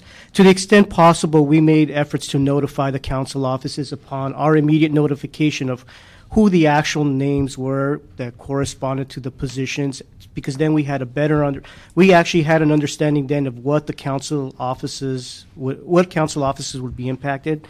Um, to- But we we, reached did- out to we council made offices. those, we made those, I'm- I thought you were asking, were you notified by the powers that be? Right. We, we personally, as a department, contacted every council member in whose district one of these centers resides. So we took that overture. I don't know if at the same time, the, the mayor's office or personnel or anybody contacted you all as a body. I don't have the answer to that. Here, here's the thing. What we want to do, we want to try to find a way to be creative, to not try to recreate something a year from now. We don't want to all of a sudden have a, uh, a an abandoned house, forgive the term, and then you have to bring it back to code in order to occupy it again.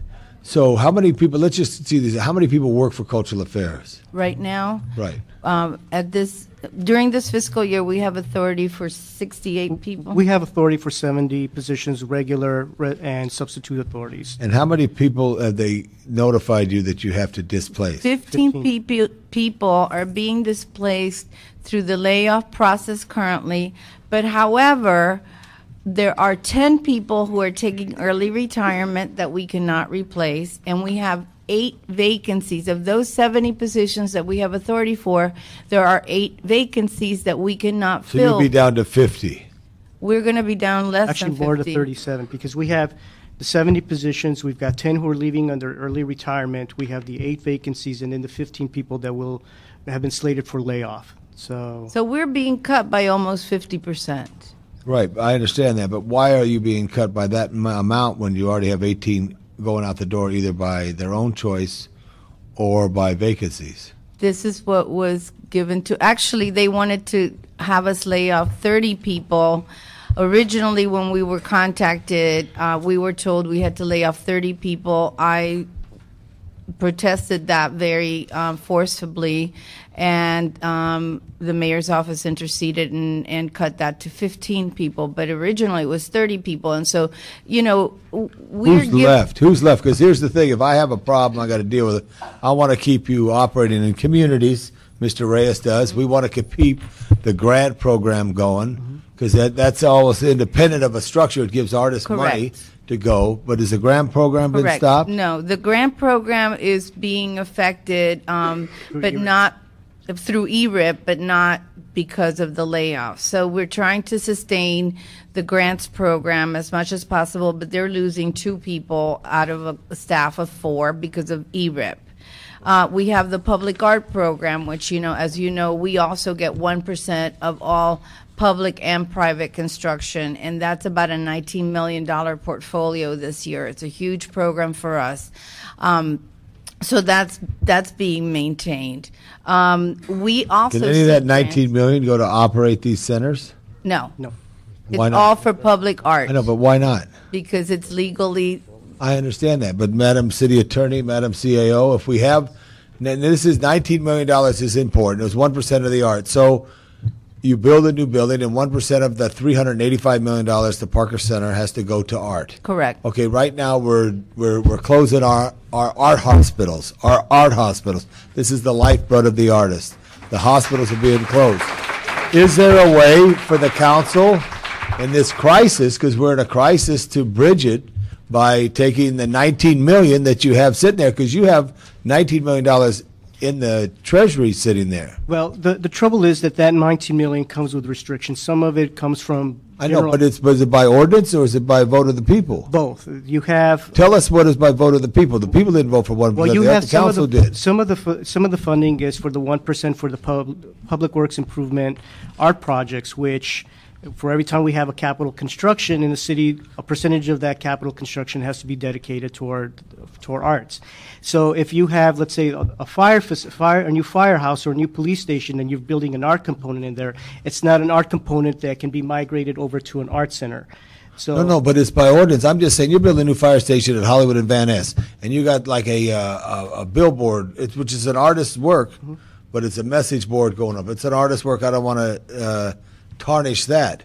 But I'd rather take the money that went for that art up there Councilmember, down the street to since- Hollywood Boulevard. Here's the tough question, though, for the CAO and, the, and if we, because we're the looking city- for. You need to involve the city attorney in, in this. Since I got here in 2007, I have been w- talking to the city attorney's office and the CAO, saying, is there a way that we could take a portion of the percent for public art and use it more strategically so that we can do just what you're saying, put people in centers so that they Got can it. teach Here's the question, though. If there's $19 million, how much is being cut right now for the 15 people who are at these centers that people came down? How many? How much dollar is that? Well, Al? these, that $19 million portfolio goes toward the pu- public art component. no, no. How many people who uh, got pink slips? Pardon the expression, and and be laid off?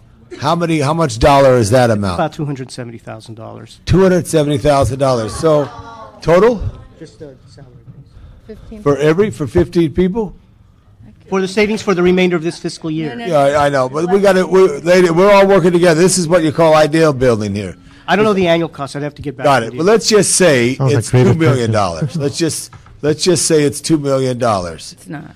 Okay. Five hundred thousand. 500,000. Let's go with that. Five hundred thousand for Actually, sir, fifteen the- people. The full year savings on the 15 positions is approximately 600,000. Six, so we're, we're getting in there. All right, so six hundred thousand.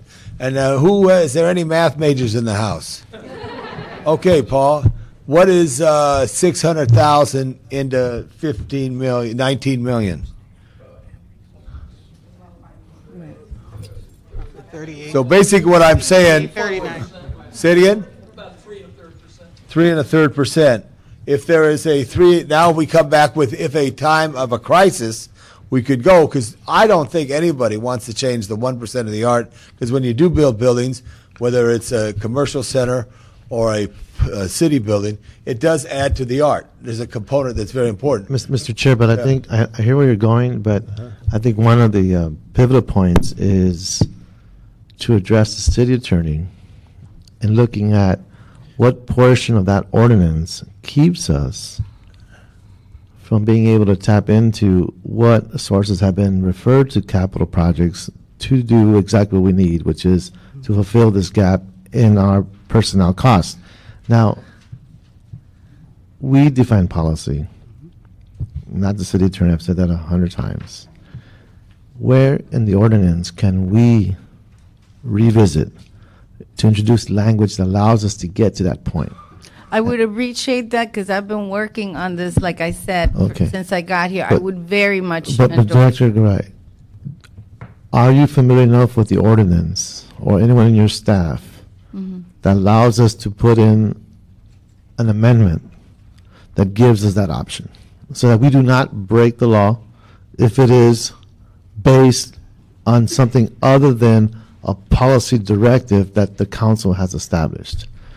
And that- that's, and that's a critical point. I mean, in terms of how we pivot from one place to another.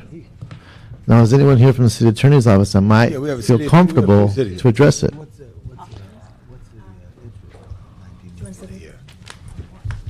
What's the interest on nineteen million a year? I don't know, find out, call the bank. Good morning. Basha Morning. Jankowski from the City Attorney's Office. Um, I think there's two programs we're discussing here. One is the private developer percent for our program. Right. There was an extensive nexus study done on that uh, ordinance, and that earmarks art for commercial industrial buildings to be directly uh, only spent on art.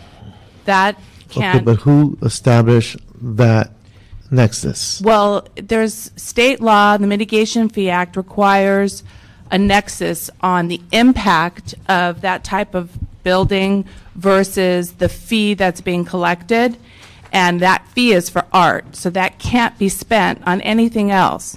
The other program we have is the Public Works Improvement Okay.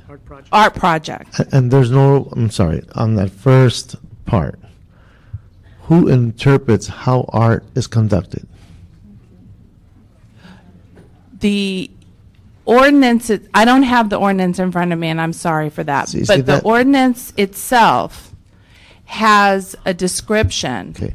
Now, isn't it possible to amend that definition to include the creation of art in a nearby center In a nearby center, and or a geographic nexus? uh, not clear on that. My understanding is no, but we'd be happy to look into that. So that's a possibility. Not, as I'm saying, my understanding so if it- far has been no, but I'd be happy to look Okay, but into based that. on interpretation, we could find an author and or someone to help us at the state level create those changes, and that will take time. But at least we know what is available to us and what isn't. That's a possibility. Okay. But but Now, but you're going to go to the second part now. The Public Works? Yes. Yes.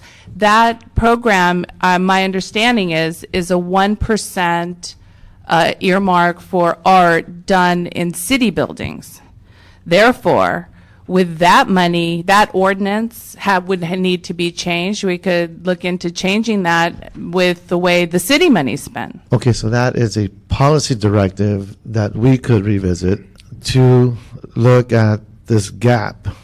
I believe so. Okay, so that's something we can work on, Tom. Eight votes. Okay.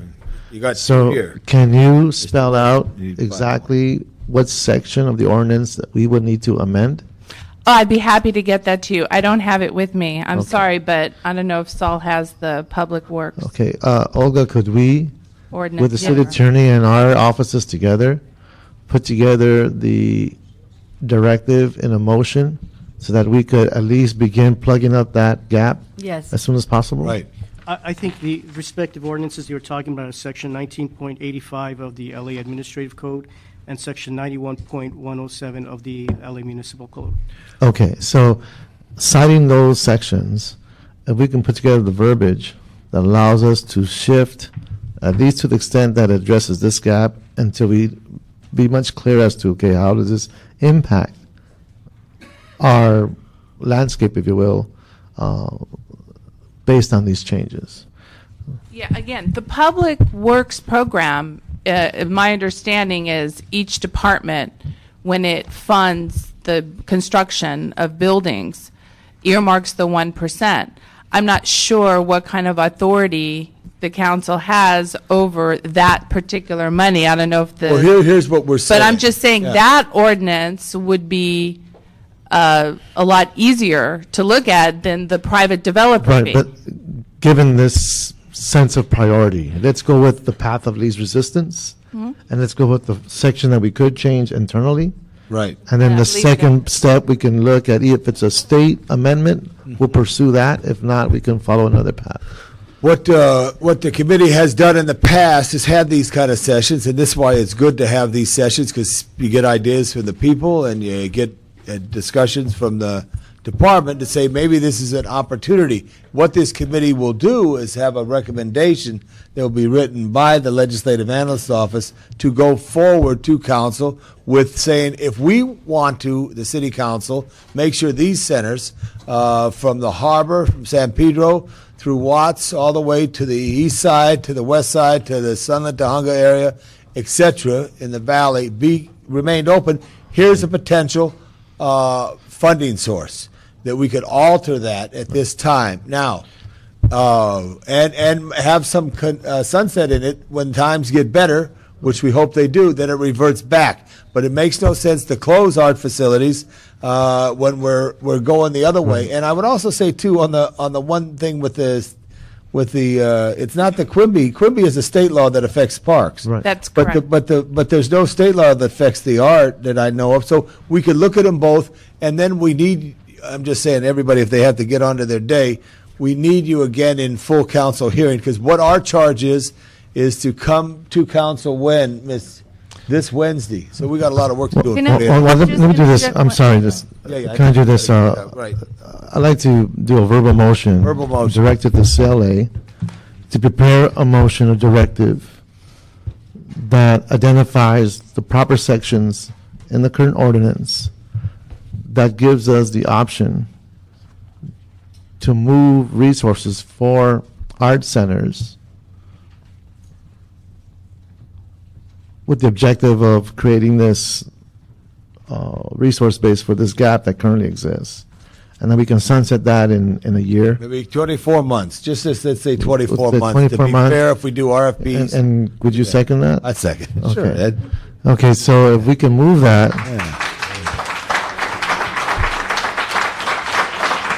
Good job. but, but, but, but let's make sure uh, it goes through its, it'll go through its process, so, I mean, I don't want to raise your hopes, but let's get, it. we still need the eight votes. Okay, this is a still- motion. can make sure it's legal. But yeah, we're going to make sure it's legal, so we're going to go through those steps first. So, so again, that's to be very clear. We're going to make that directive, push that in, in that direction, but we still need eight votes. We have to make sure it's legal. But that's a motion that will, that will come from this Terrific. discussion. That's wonderful. But that gives us this little something. No, I'm sorry. I'm sorry. I, I have, I'll be right back in 15 minutes, okay? I just want to say that that's a Mr. Reyes long has a term. set meeting that he'll uh, go downstairs, be back. We'll continue the meeting as well. Ms. Garay, you can continue. I just want to just make sure that everybody understands that this is a long-term solution that hopefully will um, will turn out to be successful, but our immediate concern, which is what a lot of people here are concerned about, is that we do not, the Department of Cultural Affairs currently does not have the money in place to pay part-time instructors or pay the, the people that are being laid off. That, we were, um, $700,000 of, of salary dollars were taken from our department about six weeks ago during the last FSR process. By who? Who was it taken by? Well, the CAO, I guess, you know, it's like, you know, the, the, the money, um, it was from our salary accounts and it was predicated on E-RIPS and the fact that there was going to be layoffs and the Uh, fact let's that. get back to some things there on this issue here. In the all right, so let's. There's the big picture that we're going to look at right there. The immediate picture right now. You have these facilities that you've canceled, and again, I'm just finding this out like Friday. I'm a pretty accessible guy, so I Right. wish I heard this a little earlier. What are you doing on the opportunity to try to keep the keep the keep the shop open? with the centers open with what limited staff you can. And I use the term a co-op, an artist co-op or some other type of facility. And someone from McGroarty, are they still here? Right there, you expressed that too, which maybe, what could be done? How much do we subsidize Barnsdall? Right now, Barnsdall, I was just looking at um, the budget, and it's over a million dollars a year uh, for all of the Barnsdall.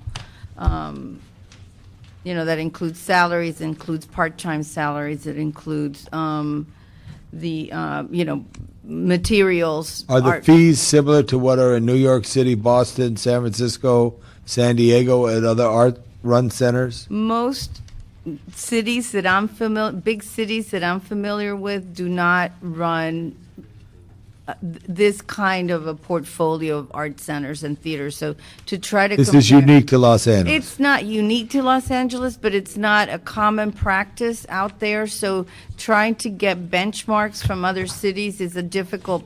It's sort of not going to. But if I'm an art teacher and I want to teach at Barnsdall, hmm I go and I have uh, 32 positions open to teach, Mhm. and I figure out this is what it costs me. What what is right. the the the the the um, fees that we collect at our art centers and some of art centers like Watts doesn't collect fees, for Right. example, they do not anywhere near cover the cost of doing business.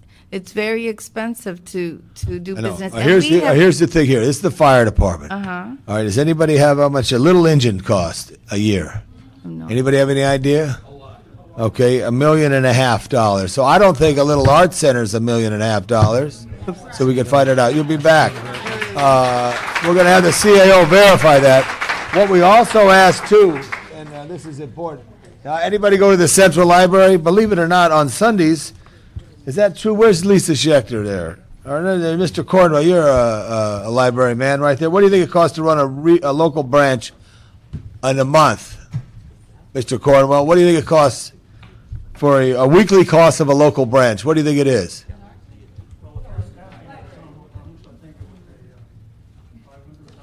No, for a week in a local branch, a local branch is forty thousand dollars. So they're expensive facilities. Are your art centers forty thousand dollars? They're not. Okay, so here's what we need to. This is the plan, and this is why we wanted to meet. Mm-hmm. You got to tell us, and you got to list all your centers, and you got to say this is what it costs. We have that. We Okay, can we get don't that have to it you here. this afternoon. I know, but we got to have it here, and we got to be able to decide this because we're coming to council. The fi- Budget and Finance Committee of the City Council has been very stern with all of us in saying eh, we have a problem, which we all agree. But we have to, to try to win, and win is, is some way of trying to uh, resolve these issues. We got to know what the costs are. And as you mentioned, uh, as the public speakers mentioned, some mentioned the grants from uh, foundations to be aggressive in that area. Someone from Los Feliz who went to, uh, lived in Mr. Reyes' district, went to Fairfax High. She mentioned she'd pay more for Barnsdall uh, if it meant paying more for Barnsdall. And I think that's something that we should look at. I think there needs to be equity across the city because not everybody could afford everything. But at the same time, let's not close these places. I agree, but we don't have. No, no, you got to be very creative. That's what we have to do and find ideas. That's the thing that we got to do. So hold on, Paul, hold on. I want to give you an opportunity to look at this. This is why we've been trying to get together to, because with the other departments, we've been successful. We will find out we're going to be able to uh, do some things if we move certain things around how we operate and what it is. So this is some of the challenges. Our, but our challenges are our options are very limited and our resources are much more limited than the libraries and recreation and parks. I got it, but we got to be creative. The most creative people in the world are artists, right? Huh? Right, Olga? They absolutely are. Okay, all right. So if you want us to uh, be creative in our Right. accounting, we will um, start um, putting this in. uh, uh, Just to be serious, Right. I'm really concerned about, you know, a lot of people took a lot of time to come here and express their feelings, and I'm, I'm really appreciative of that. And I just want to be honest about the fact that we just do not have right now staff payroll to pay people to stay in their in, in their positions till facilities can be partnered out if they're going to be partnered out. When we submitted our FY 1011 budget in December, we said very clearly we need at least a 6 month window be, beginning July 1st, the new fiscal year, to do this responsibly. We also said as as the um, executive director of the McGroarty Arts Center said, they cannot bear the brunt of all of the security costs, all of the electricity, all of the um, maintenance, which is we put all of that and we factored all of that in into the budget that we proposed to the city of Los Angeles. Those recommendations were not accepted. So we're very interested in making these successful partnerships. I think that some of the centers will be able to be partnered out successfully, and you saw a number of people in, in, in this um, chambers that said they want to step up to the plate. I don't think all of the centers are going to be able to, to be partnered successfully, and you saw some of our staff members saying, give us a chance to do it. It's the same thing that's happening in the school system here in Los Angeles. You know, there's charter schools that want to get in there. There are um, teachers groups. There are there's the mayor's partnership. There's different um, entities and there's different configurations of people that want to make this happen and, and sustain these centers. But it cannot be done overnight. And all we're saying to you is, if the current conditions persist, we don't have the staff salaries to pay these people to maintain any kind of modicum of activity there while we're out there trying to build these Well, we're partnerships. trying to work on that too. Angela Moto's here, a, a deputy for Mr. Garcetti, who's a champion for our uh, uh, Barnsdall Park. If you want to speak from over there, for that's the process. And also with us today is Martha, uh, the district director. I want to say it correctly, Martha. Segura. Segura, thank you so much. to- Yeah, vacate for a moment. Thank you. And we just um, wanted to speak briefly about uh, addressing specifically the Barnsdall Art Center. Um, As you know, the council member, Eric Garcetti, took classes up there. It's one of his favorite places, and Barnsdall Art Park is in the center of East Hollywood, which is a thriving arts community. Um, One of the items that we've been, I don't know if there's some confusion in the information, but we, on, on Friday, we were surprised to find out that the programs were going to be shut down for the spring um, session. And we got a hold of cultural affairs and got some information. And the programs at Barnsdall are apparently being shut down because there are three teachers who are taking advantage of the early retirement program. And as we all know, that's taking a toll on a lot of the departments. And now we're actually seeing it in something that constituents directly depend on. So our question is, and our hope is that Cultural Affairs will be able to continue those programs until those individuals retire in, I believe it's the end of June. Um, so while the program is supposed to go longer than June, uh, the council member would like to see an abbreviated class. Um, so it would take place for a couple of months rather than the full session, but at least there'd be something there um, in the meantime for these students who depend on these classes in the spring. So that's something that we've proposed to the Cultural Affairs Department, and we're hoping that they will be able to take advantage of that. Um, these closures of these classes were not a part of the layoffs, um, so we were not notified of the closure of these these programs. Right. Marta Segura, District Director for CD13. And the other thing that we'd like to emphasize is that uh, the council president for Council District 13 is proactively looking for public-private partnerships for the sustainability of this facility, along with his colleagues, I'm sure. But uh, definitely, we we are uh, part of this uh, process to ensure that the RFP or RFQ does get put out there in a timely manner and that we continue to look for the public-private partnerships that will make this uh, facility more sustainable. And I don't know how to emphasize enough that we were informed by Cultural Affairs on Friday that the funds for this spring have been encumbered and they do exist. So we do expect that the classes can take place this spring, even if it's in an abbreviated fashion. Well, on Wednesday, we're in council, and I'm sure the president of the council will be asking those questions directly, and uh, all parties will be there at this time to cut it further. Thank you both very much for your support and care for Barnsdall. Council, it, I, I, I could add a little bit of information to it. What this department is suffering the consequences of the overall problem with the economic downturn, as well as the specific actions that the legislative, uh, you know, the city leadership has taken to try and mitigate the impact.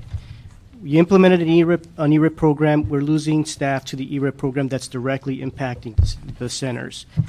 We're laying people off because. What, what, just, just because I want to do this here, uh, early retirement incentive program takes employees who would want to get off the general fund and go to the retirement fund. So they're trying to lower the cost of government to try to get through this period. And it didn't have any, uh, they didn't pick where there was an oversupply, they just, who was eligible. And then they checked their eligibility and made them approved to be removed on retirement. When are the employees scheduled to leave? The, well, that's one of the ambiguous pro- situations. We don't know. So, okay, so that goes to Mr. Garcetti's Well, point. we just found out on Friday because of the uh, Gar- Mr. Garcetti's office that two of the employees at Barnsdall would be laid off on June 5th. They found out on our behalf Uh-huh. because we had been asking. I talked to somebody in your office. Yes. It was June 30th, I believe. She said June 5th. Whatever it is, June 30th. But that's, that, Whatever. but we have, we have to put this problem within a context of all of DCA's problems, is that our, our- our instructor ranks have been decimated because of the layoff and because of the early retirement center program. Let me just ask a technical question. Your instructors are city employees. Correct. Yes. Let me just ask another, and I love city employees, okay?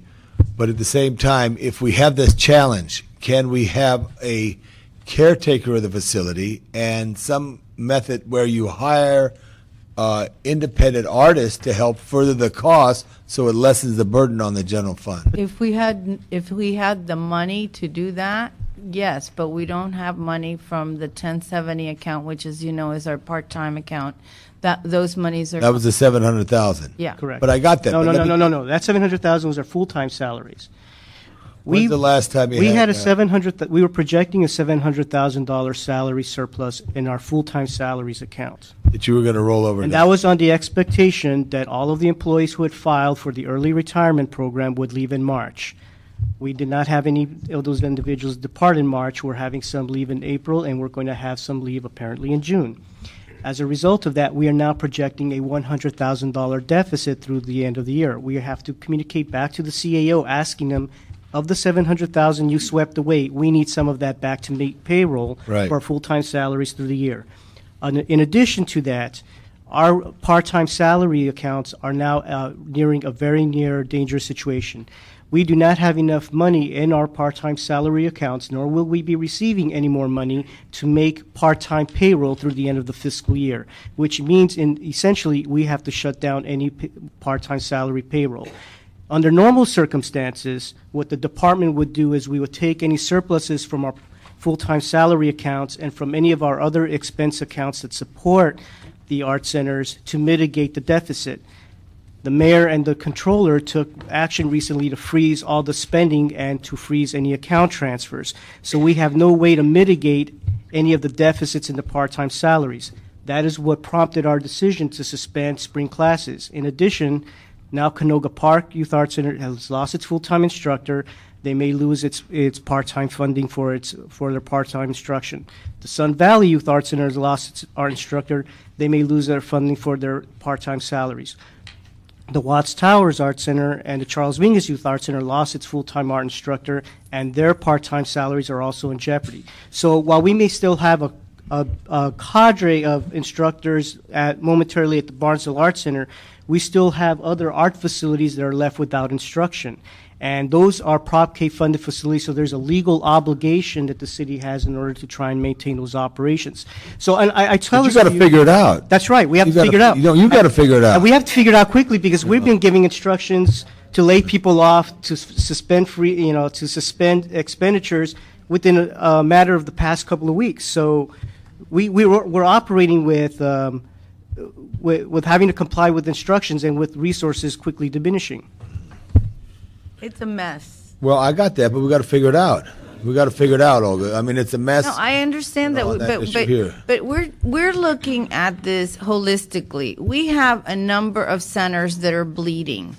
Okay, and so what we're trying to say is it's triage time. Okay, so if we're going to, if if three of our centers, uh, uh, uh, Sun Valley, Canoga Park, and Watts, all lost their primary full time instructor. Okay, we have two people at the Barnsdall Arts Center who are going to be retiring momentarily. We don't have the money to hire part-time people currently. Now, if today or tomorrow or Wednesday or whenever it is in the council's good wisdom, you we are told, "Hey, this cannot happen. Here are the dollars that you need to mitigate this situation because we understand what's happening." We would fall on our knees and, and bend over backwards to keep these centers alive. We want to keep these centers alive. It, some of this stuff is not within our control. You know, we almost didn't make payroll last payroll For our full-time staff. for a full-time staff. And we had a $700,000 overage. So Madam CEO wants to speak. Yes, I, I feel I need to. Jackie Vern, Jacqueline Vernon Wagner with the CAO's office. There are probably about four or five points that I wanted to clarify, but the um, first one I'm going to touch on has to do with the salary surplus for Department of Cultural Affairs. Department of Cultural Affairs is one of seven um, departments out of a total of 40 that you mentioned before that was not um, did not uh, share in that shared sacrifice item. So therefore, there were no cuts to their department, unlike all of the other departments. Um, the surpluses that were projected were a result of uh, work furloughs, anticipated work furloughs, and other savings. Um, the council took action to transfer that projected year-end sur- surplus towards mitigating the city's overall budget deficit. That's a done deal. If the council wishes to restore that money, um, you know that that's definitely your right. But that was an action that was made in concert with the mid-year, the CAO When they swept all the. Yes, yes. Um, another point I wanted to touch on was um, that you had hearings. I heard testimonials from Lankershim Art Center and from McGroarty Art Center. These are two of the 11 art centers and museums slash theaters that are already partnered out. Uh, Department of Cultural Affairs has approximately reports having approximately 33 art centers, junior art centers, theaters, museums, sites, historical sites. 11 of these are already partnered out. This next round of looking to go into public-private uh, public-private partnerships was the next tier. Um, yes, the department did recommend uh, about five facilities, and we looked at the opportunities that were there. Councilwoman uh, Janice Hahn, um, you know, thought it was an exciting idea and and suggested a CD 15. Either way, um, and then I hear Council District 13 saying that they're very excited about the public-private partnerships and that they're committed to doing this. So it's not that we we already have these types of partnerships, and it is looking to yes, the private community to step up. And so um, the testimonials from Lankershim and McGroarty, those are two of our art centers that are already contracted out, and I think that what they were saying was that they wanted an opportunity to be able to continue in that way. So that's the one thing that we have to look at. And I also think council may make that decision, Olga, that as we see how it plays. on this issue here. What I think would be helpful for everybody, I'm sorry, Jackie, did you? Um, as far, the, the last point I'm going to touch on has to do with the layoffs. Yes, Department of Cultural Affairs had a very high target. Um, uh, however, the mayor's office worked directly with the department and they reconfigured the list of positions that were identified for layoff. And that list was provided to me after they had worked on it. So that was not something, uh, origi- the original list that was on the thousand in the CAO's report. Yes, we worked together um, with the department, and that was primarily positions identified as being associated with the art centers that were to be partnered out. However, um, you know, as I mentioned before, the department did work closely and directly with the mayor's office in reconfiguring that list of positions, and so that's my last point. Okay, so we got all that, but all of this is happening rapidly. Now, we're going to council on Wednesday. We're going to look at the big picture item to see if the council would find a way, if it's legal. The- Can I just say one more Yeah. thing, please? I talked to uh, Mr. Garcetti's office, and they asked us to be at council on Wednesday. On, I explained on Wednesday, we have a community meeting in Watts with many of the people who are here that has, we have been trying to set up for a number of weeks. And so we're trying to work with Mr. Garcetti's office to see if we can offer our time's your testimony meeting? at 10 o'clock in the morning. I'd rather not have to change that. If at all possible, could we see council at 12:30 and beyond? We're, Well, I don't know. What I would do is I would try to move the meeting up a little bit because this has been overdue in our efforts to try to work with your department to try to get this done. So you have a, a very you're saying important. move the Watts meeting to earlier? No, at nine thirty, if you could. At nine And try to o'clock. conclude it at eleven, if it is, or, or suspend the meeting and come back after council. Council is gonna focus on this issue. No, no, I, but I, I just want you to know that our Yeah, but reality. working- I know, we're working with your office, so this is news to me. I didn't know that there was. They, I, we conflict. just found out um, from your from the council that this was going to be on the Wednesday committee on. I understand that for the city clerk's office, but as far as finding out, we've been trying to do this for a long time. Here's a question here.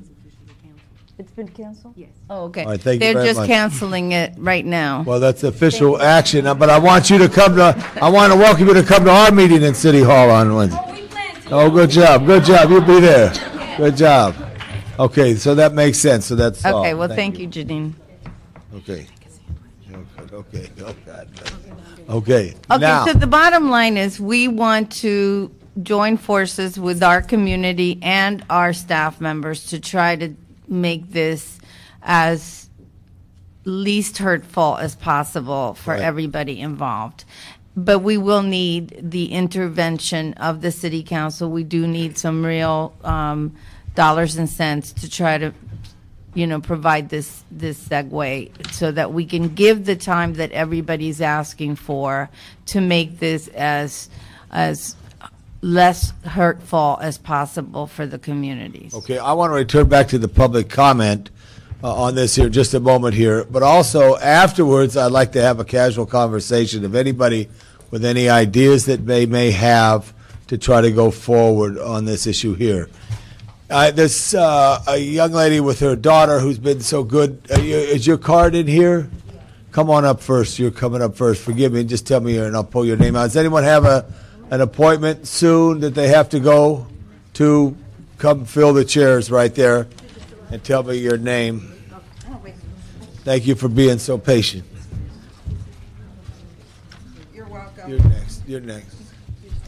Um, my name is Wilma Frazier, and um, myself, my daughter, and this young man, we are the community. We live in Watts, 2419 East 115th Street, 322 East 108th Street. So we are the community. We are using the facilities at Watts Arts Tower, um, and myself, I'm a parent. I cannot afford what the Watts Towers is providing for my child. Uh, she has had the opportunity just because of Watts Towers and the staff, and I have to say that they are an extension of our family. Miss Kai, Miss Cooks, Rogelio, um, they are an extension. They're uncles, aunts to my daughter. Uh, they are um, to Christian, they have been examples to him. Um, if it had not been for the Watts Towers, my daughter would not have had the opportunity to sit with the master pianist. Uh, she would not have had the opportunity to sit and discuss with a director of uh, Kung Fu Panda. The towers have brought that into our community, not only for my child, but for other children. And um, to privatize it, I think, would be a travesty. I, I really do. I really think that if there's somewhere else, I, and I'm not all familiar with the laws and money, but I know there's money somewhere that could be taken to continue to run this the way that it has been run. Thank you very much. Um, um, and I wanted to say, if we don't stand for something uh, as a community, our our children are going to fall. I got that. Thank you very much. And I'd like to ask if you'd like to testify. All right. Please introduce yourself. My name is Lauren Handsome. I am a student at the West Learning Center Charter School, and I'm also a student at the Watts Towers Arts Center. And I would like to say, please keep this center open because it's it is a positive place for students to stay. And it, if it wasn't for the Watts Towers Arts Center, I would not be able to learn how to play the piano or be um, exposed to many different things that are positive things. And we want Rogelio back. Thank you. Good job. Hi, um, I'm Christian Allers, and I grew up going to the Watts Towers. I've been going there since I was about 10 years old, 22 years old now, and it's had a definitely um, positive. It's, it's had it's had positive. To, it's been positive to my development, and it seems surreal that we're actually considering shutting down these centers. It's in- incredible, and especially in a time when when schools are are shutting are closing down their their art programs, and we're closing down these programs now. My God. Thank you, Christian, very much for coming. Thank you very much. Would we vacate those seats and the next three would want to come up and then just state your name? And we went back to public. Yeah, thank you. Hi. Good morning. My name is Zoe Bright Howard. I'm a professional actress. I'm a theatre director and a teacher of musical theatre and drama at Los Angeles County High School for the Arts. In my professional capacity, I've performed in eight shows in the West End of London. And I've been resident director for the last seven years for Foothill Summer Theatre in La Cañada, a programme that's been going for 27 years and which has just been shut down due to lack of funding. When Anissa Hamden heard that FST was closing, she asked me if I could create the same program for five weeks this summer at the Barnsdall, with the hope of expanding and continuing on at weekends with classes and workshops, so that our youth would have a safe place to come and be creative and explore the joys of theatre and the arts. The Barnsdall is a gem of a theatre. I've worked in it several times as an actress and a director.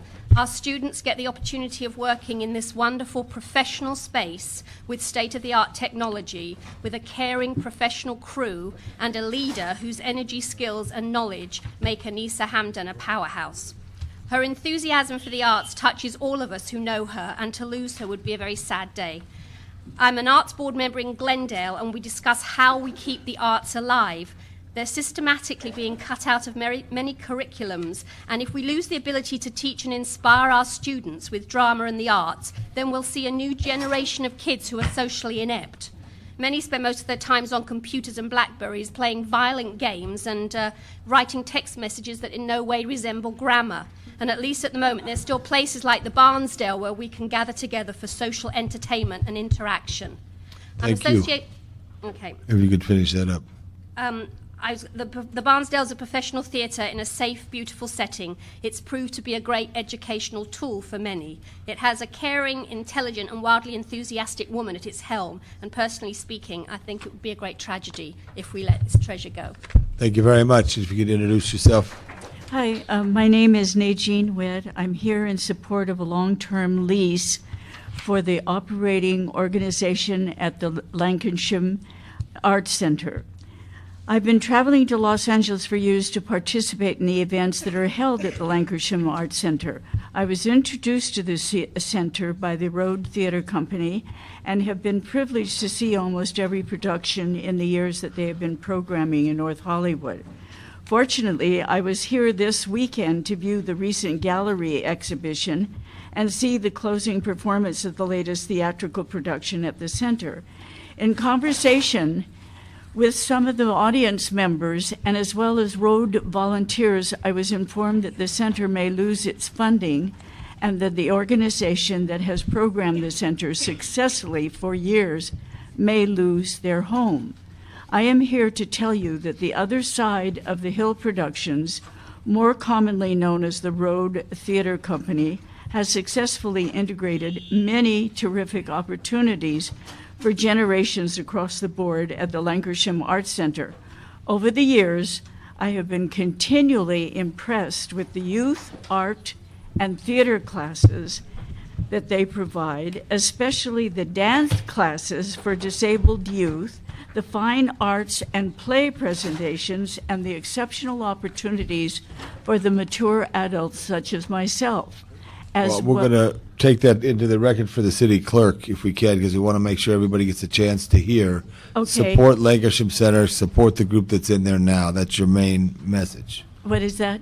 Support Lankershim Art Center, support the organization that is handling that And now. a, and a long-term lease for the, the uh, theater so that they can make their plans in the future for subs- subscriptions. Thank you very much. You give that to the clerk. Okay. Hello. Hello. Hi, I'm Dr. Tammy Robinson, and I'm here in support of the William Grant Still Center. William Grant Still Center is a wonderful place, and uh, I'm not only here to represent them, but my daughter also uh, attends there. And so, and I also, uh, Mr. Uh, Councilman Reyes actually asked would parents uh, take place and volunteer, and I think that's wonderful. And yes, Thank we you. do. Thank you. All right. And I thought that was a wonderful question. So part of what I wanted to say today was what will our legacy be? That was what I was thinking when I needed to come and write. I said, so do we want our legacy to be one that entails closing centers vital to the needs of the community? Or do we want our legacy to be that we took a chance when it seemed that uh, there was no more hope? I humbly appreciate the task that you have at hand. As I'm an educator, I'm actually the chairman of the English ESL department at Los Angeles City College. And I come here, uh, again, as a patron and as a parent of a child who uses the services of William Grant Still Center. It is a place where children of all races can come and be a part of something that gives them a greater vision of who they are as citizens and as young people uh, and uh, who they are in the world. The mission of the William Grant Still Center is an instrument. It, it, it, it, it is a- every, an instrument in every, in, every chi- in the hands of every child. And that instrument can be their voice to sing, it can be a keyboard, a clarinet, a violin, their body uh, to utilize in yoga classes and dance classes and other forms of self expression. This past weekend, the exhibit at the center uh, was the legendary uh, Thelonious Monk. And in an age of rap music, I believe that it is wonderful for our children to be exposed to the original American art form of jazz and its pioneers. Uh, the center, uh, in the summer, the center has a program, a summer program that, again, my daughter also participates in, where they actually perform uh, for about two hours to over 500 people at the Nate Holden Community Arts Center. And, um, and the students did a show called Love and Vision, and where they learned about uh, uh, Nelson Mandela, Gandhi, Princess Diana, and Martin Luther King. So again, we are here today to, to ask for a 90-day at li- minimum m- a moratorium on the closure of the William Grant Still Center so that they can be given an opportunity to look for grants. I just want to say, as a parent of three teenagers and a 21 year old, and three of them are really into music, I appreciate what you're saying, and thank you for your volunteerism. Thank you. And Tammy, I want to say, go Cubs. I went to City College. Yeah, yeah, yeah. Okay, you'll hear from me. Okay, please do. Say hi to your president for me, Dr. Moore. Okay, name please. Hi, my name is Marshall Louie, and I'm a member of the Barnsdall Art Park Foundation and the uh, PR and Community Outreach Chair, and also a resident of Los Feliz. And thank you for uh, all your attention to this issue today.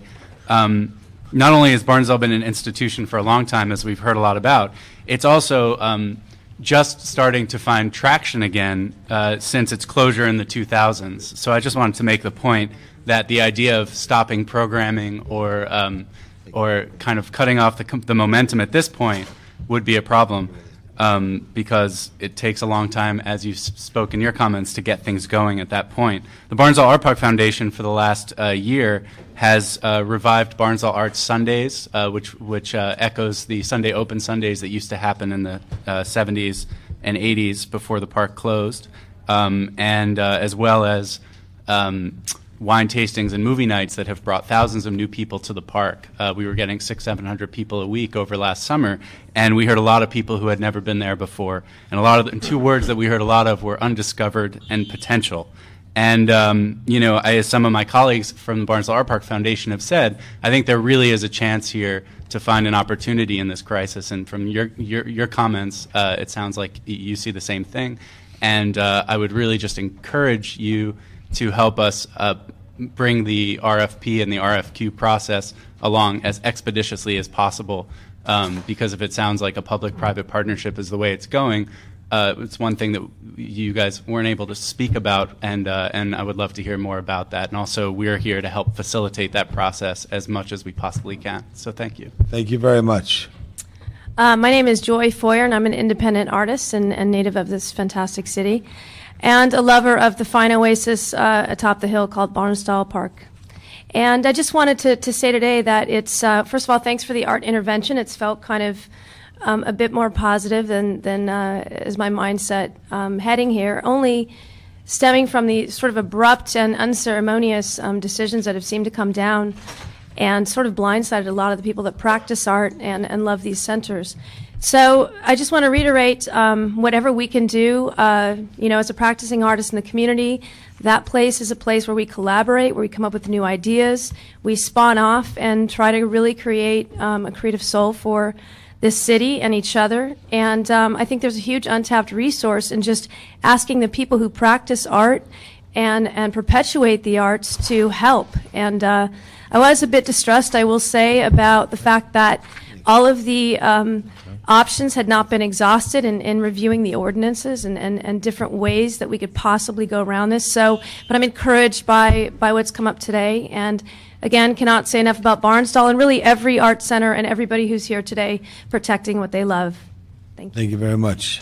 Thank you. My name is Roberta Morris. I'm a deacon with the American Catholic Church at Hollywood Lutheran, which is the way where Barnsdall was housed in the period when after the earthquake, the activities were there.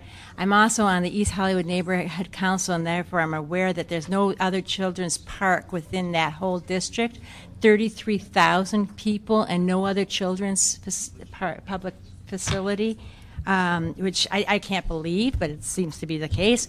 Um, I'm also, um, my colleague at um, Hollywood Lutheran is on the uh, Griffith Park Neighborhood Council, and I don't, don't. I think if I didn't do mud therapy at Barnsdall, I would have known about this closure. I only heard about it because I'm on their mailing list as someone who does the um, ceramics there. Hmm. I can't. I think it's, it's essential that your your language of arts hospital and yours as arts intervention gets out to the community so people know that this is happening. I am so sure we could raise the funds and the public support if we, people knew that this was so close to closure when there's s- I'm considerably less money involved than so many other things that we pay for willingly. I think the public outreach is essential right now. Thank you, Doctor. Thank you all. Okay, the next three, please.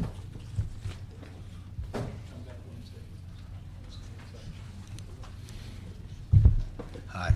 Hi. Um, my name is Lois Hunter, and I direct the theater program at the Los Angeles County High School for the Arts. But I have worked at uh, Washington High School and Manual Arts High School, so I'm a strong advocate for the Watts Tower because I've sent students there, and of course the William uh, Grant Still. Um, I'm here to advocate for the Barnsdall Theater. The Los Angeles County the school, the children that go to the Los Angeles County High School for the Arts come from the whole county of Los Angeles, and mostly 90% come from the city of Los Angeles. So what's been happening with the Barnsdall for the last five or six years is it's been a training center, literally, for our theater and music and dance students. We don't have our own facility at the high school, so we have used the Barnsdall Gallery Theater to train our young people. So they have worked on the lights, they've worked on sets, costumes, and all of that stuff under the auspices of the professional people that work at the Barnsdall. We could not have done it without them. So when I heard that this was going to be closed, I was almost panic mode.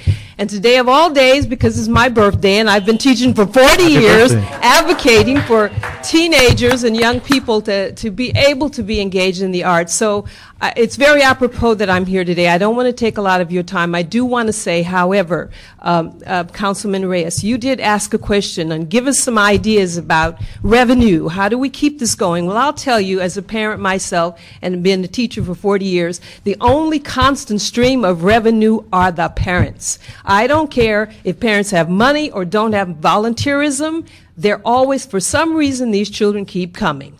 They don't stop coming. And with them come parents. And I think that a, a resource that we really do need to tap into with these centers, because you can hear the passion and the emotion in this room, are those parents. Even if parents don't know and cannot afford, they can give their time to those centers, and I have seen it happen. And our parents at the High School for the Arts, that's exactly what they do. And I know they'll roll up their sleeves to make sure that their children get a quality education, and quality means the arts.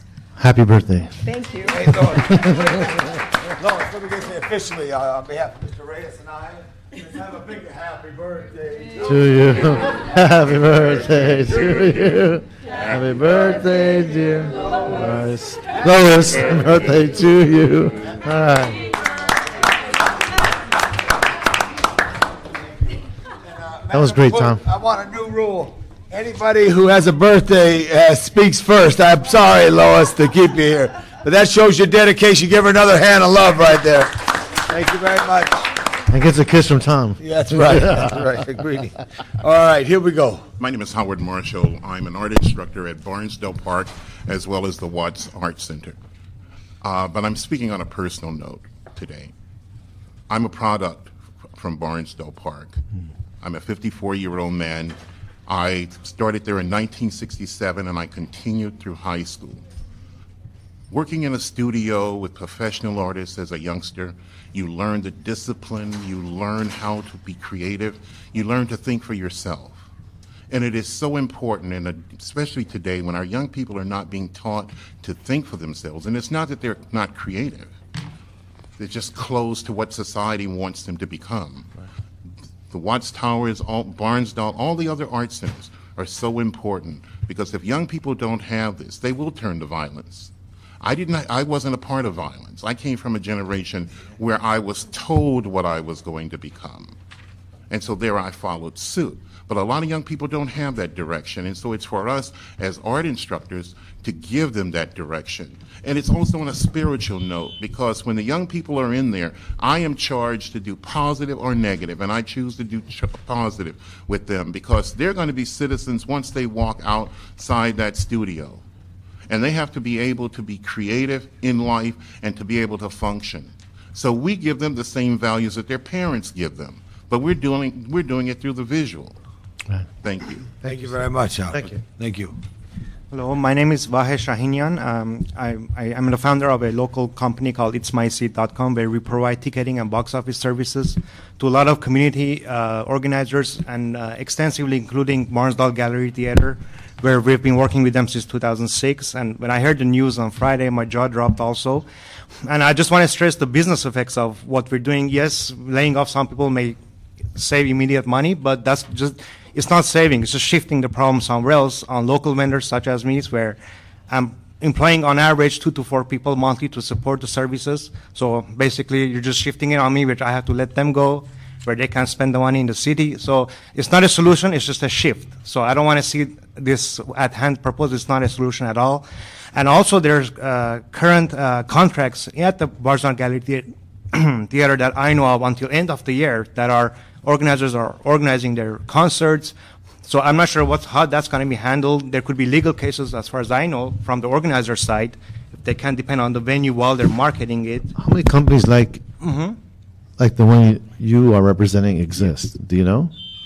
What was the question? How many companies like the one you represent Well, local ticketing company, I don't know of except Ticketmaster. We're local. We can compete with Ticketmaster. We are a full box office service. We're born in LA, and Barnsdall was one of our starting grounds. So I don't know how many ticketing services. Uh, The reason why I ask is maybe that's something we should research to figure out. Absolutely, I have There's a a mutual relationship. You don't exist, and we don't exist. Absolutely. So where's the reciprocation? And that, that would be the question we should be asking. Yeah, and I have, as far as uh, support, we have, have a ton of ideas of my own where we could make the theaters more lucrative, so more people rent it as opposed to going to private uh, entities to rent for rental. So there's a lot of ideas that I.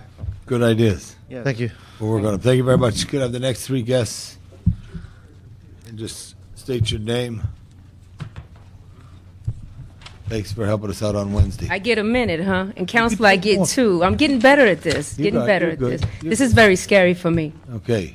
Okay, my name is Janine Watkins. Um, my family's been in Watts since 1921.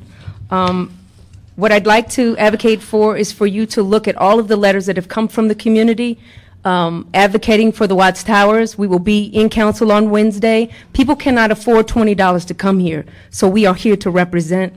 The Watts Towers Arts Center is designated as a historic national California monument. We are different from the art centers, even though we stand in solidarity to the art centers. We ask that you take us off this list. We were already underfunded and understaffed, and we have historically been underfunded and understaffed. And what we are asking is that it's time to talk to our representatives, the mayor's office, DCA, and hopefully our councilwoman, to talk about the uniqueness of our facility and how we can continue to work on development because we want to develop cultural tourism. We have the facility, we have the infrastructure.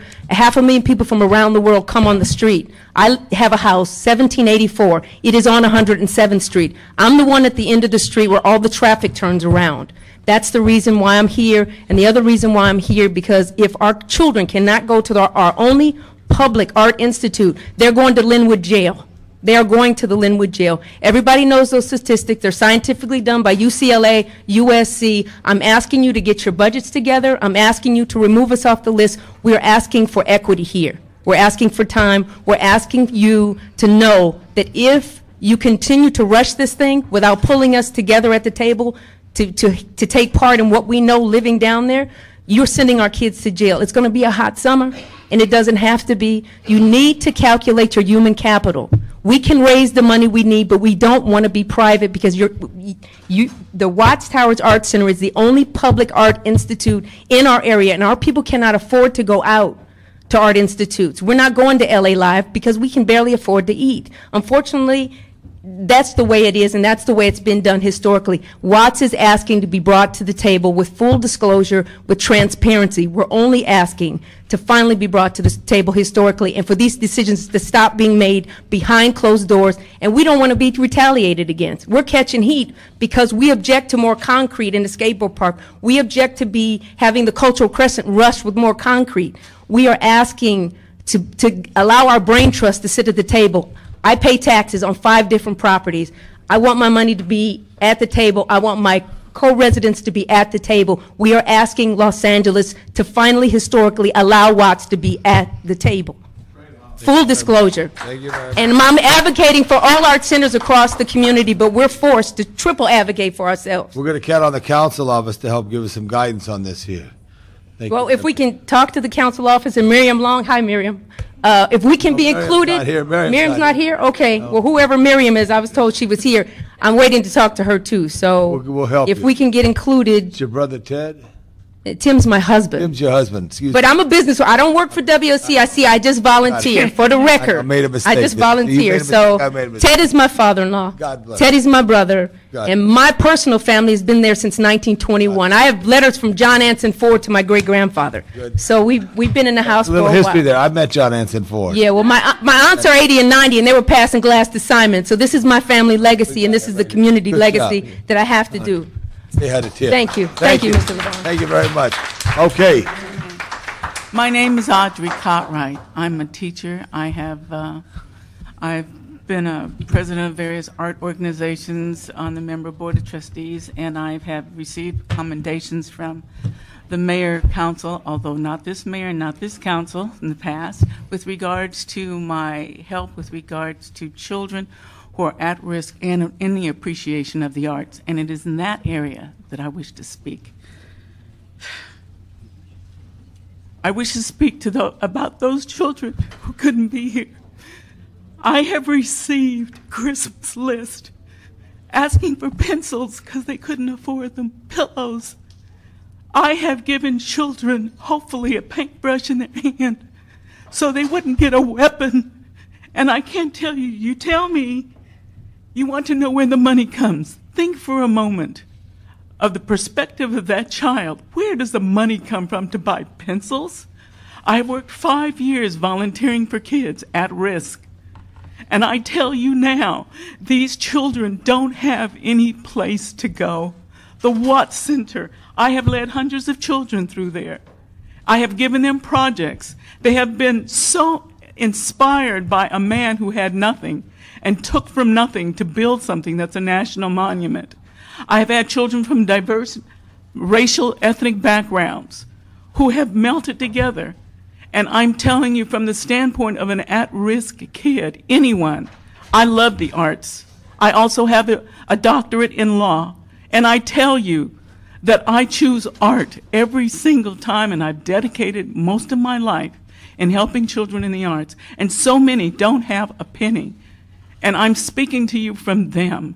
They need the Watts Art Center. They need the arts programs. It is vital to them. You're having, art teachers are being laid off. Art summer schools are being cut. There's no place for them to go. I was here during the Watts riot. I was almost a target, just being curious. And I tell you that if we don't have that, you're looking at a summer, a very dangerous summer. The Watts neighborhood has worked very hard to change their image and to work hard to be a peaceful, loving neighborhood. And I say to you that you're taking an area that is so at risk and you are jeopardizing it. And I'm simply going to say now, in the words of Albert Einstein, imagination is more important than knowledge.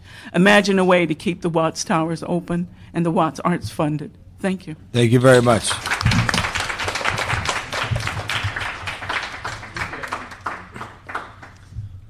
Um, hi, I'm Eric Layer. I'm the um, I'm the sole music teacher at the Barnsdall Junior Art Center, as well as uh, I work in the administration as an office assistant. Um, I just I, got, I think it's clear that we all nobody here wants to see the centers close, um, and I just wanted to clarify a few sort of nuts and bolts because some things some misinformation was brought up regarding the center. Um, for the spring session, we were just told it was going to be canceled on Friday, and um, it's actually already been truncated. It was eight weeks traditionally for a long time. It's already been changed for the last, I think, three sessions to six weeks. So that's one thing. Also, we lost our executive director. Um, she passed away over a year ago and has not been replaced. So we haven't really been really running without a director, which we can do and have done. Also, as uh, as an office assistant, I was um, made to take over a full timer's position for a long time, and when we didn't have that position filled, and I was able to do all of, all of the work um, successfully, and as I think anybody else would too. I'm not really here to defend my job so much as just defending the center because even if I didn't have a job there, I'd want to see the center open. But I just want to say it can be streamlined. It can be run more effectively. We don't even have a main director right now. I think the early retirement people were doing that, eh, so to say, the center, not because they really wanted to retire, right. you know, early. I think it was all about saving the center. I think they'd be willing to keep teaching time in if they could. They don't want to go either.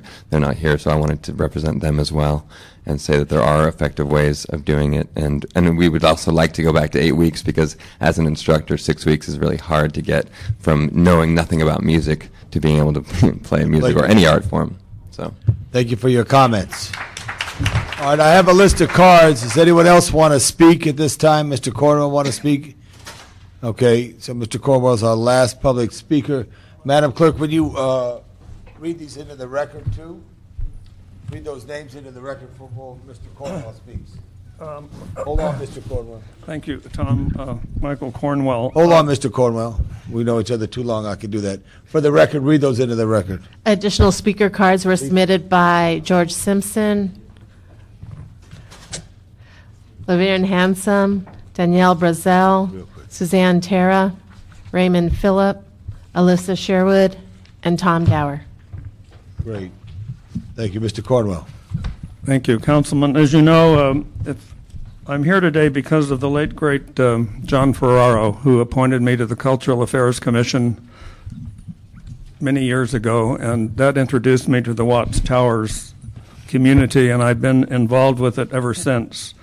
I'm so impressed with the community there that how it's evolved and observed as I'm involved with the Watts Towers conservation effort. I've observed the activities at the at the center, uh, young kids playing the piano, uh, kids out doing art. There's a garden. Uh, I heard someone on the radio say recently, "Well, they can close, you know, our center now, but after the riots, they'll find money to open it again." And I really believe that's true. But I'd like to speak directly to the the what's been lost in this debate is the is the cultural monument, the Watts Towers. The conservation effort there has already somewhat collapsed.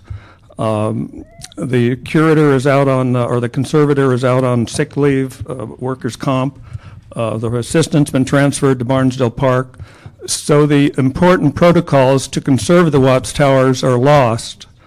And I, I would urge that the towers be put back on the endangered list, which the National Con- uh, Trust put on the endangered list after that great earthquake.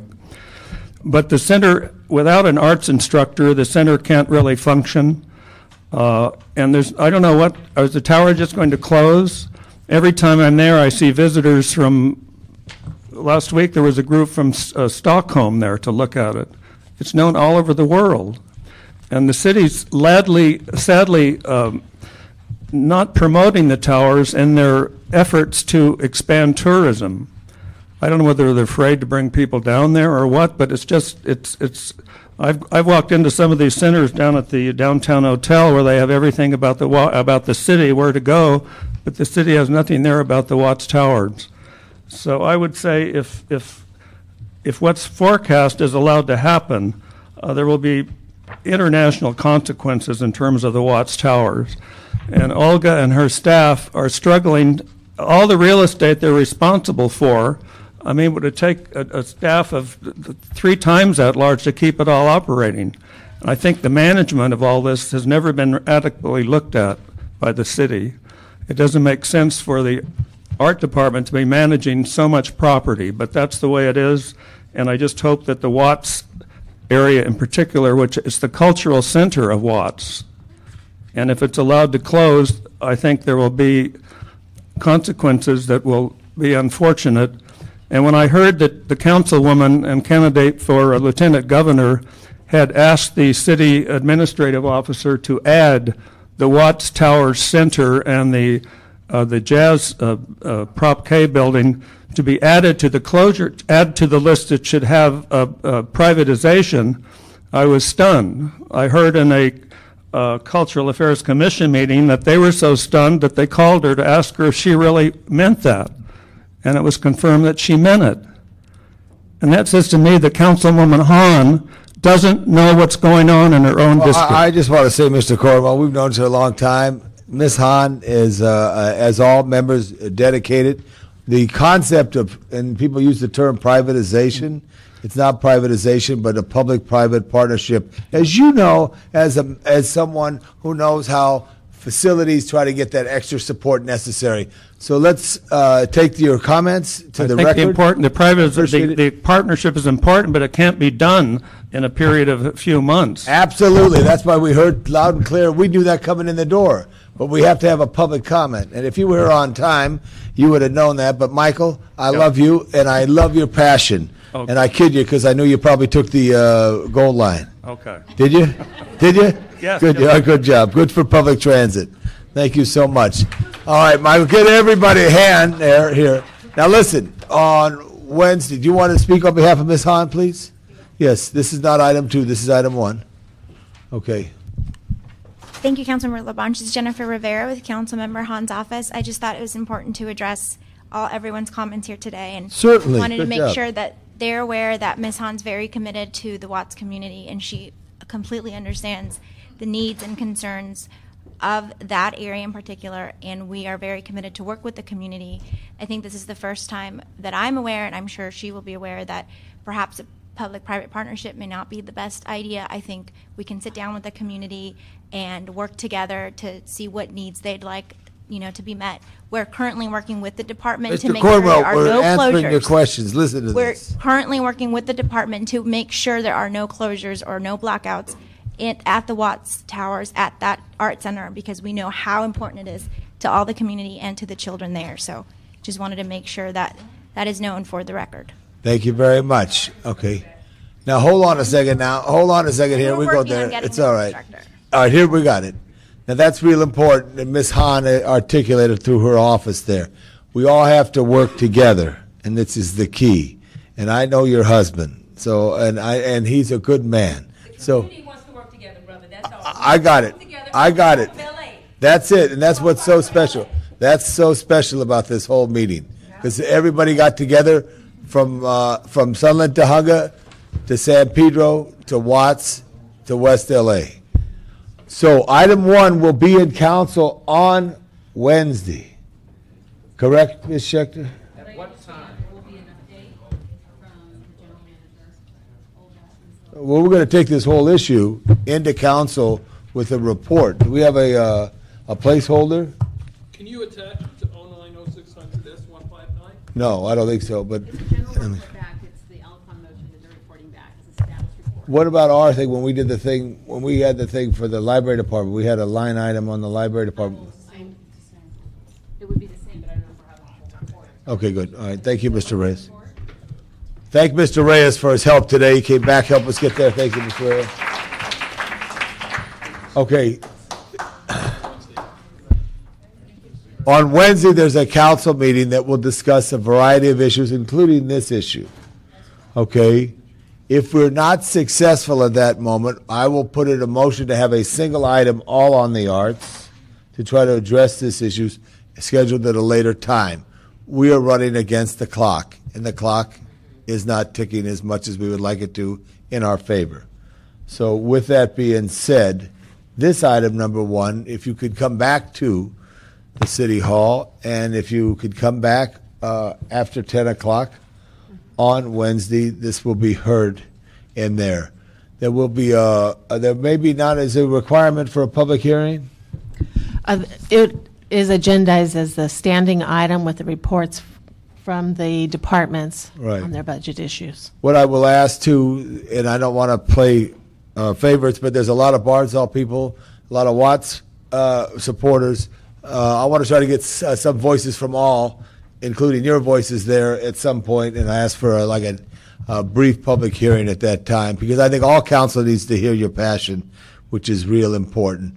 So, with that being said, I thank you uh, for coming down on this committee meeting and look forward to continue to working with you to f- try to find solutions for all issues, uh, all issues that are important as it relates to ho- uh, arts. As I said, as you look at the city, there's public safety, there's public works, and then there's public humanities, which are so important, and all have an equal base. Thank you for coming. Thank you, everybody, and we're going to go to item two. Do you have something else you want to add? Thank you. No, thank you. No, thank you. No, no, thank you. Come here, come here, come here. All right, we're gonna, have item two. Hold on, when we clear the room. Yes, Paul? Just one question. One question. Can we meet with, uh, we, I have an actual. Yeah, if anybody wants to meet, this is gonna be a quick item. I'd love to have a conversation if you got a few minutes. stay, I can Stay, stay. stay. I'd like to meet with Saul and Olga. Well, here, we'll see what everybody schedules. Item two. Okay, item two. If, Item please two. either sit down or leave the room. This room, the meeting What is we're gonna do still just- going just, on uh, at this Meeting's moment. still on. Okay, On item this two. motion right here, we're going to verbally amend the motion, if it's okay for the city attorney, into the record, item number two, instruct the Department of Cultural Affairs to work with Council District 15 to ensure there is a no gap in service should a provider not be chosen prior to the next fiscal year, 2010, 2011. Whether this means the Department of Cultural Affairs continues to operate or can work with the uh, community leaders to continue the service is still the question. But I want to move that with that amendment item, and this is the, uh, for the clerk's rule, and it's a committee of one. Okay, thank you. So you have that, you can hand that, so you add that to the report. So that completes the formal part of the meeting. Now, Madam, Madam, uh, City Attorney, is that all right? That, that's okay there? All right, so that worked out well. Okay, On item two, are they? okay. Anyone want to speak on item two? Sure, come on up. Is this Liz? Hey, Liz. Liz Schindler- Johnson? Yes. Yeah. I'm Liz Schindler Johnson. I'm the executive director of Grand Vision Foundation. I'm also a volunteer. Um, uh, Grand Vision is a 501c3 whose mission is to preserve and promote the historic Warner Grand Theater and foster arts and cultural event, events in and around the theater. We saved the theater in 1996 from becoming a swap meet, and we put our heart and soul into the theater since then. Um, we ra- I, I don't really speak for myself as I speak for all the seat holders. Um, over uh, there's over a thousand seats that were adopted in this beautiful historic movie palace um, in the mid 2000s um, because the commu- this is the community center. I'm going off my notes here, but we've done. Um, we've raised over 1.5 million dollars, and we've um, we've done. The city does over 150 events at the theater regularly.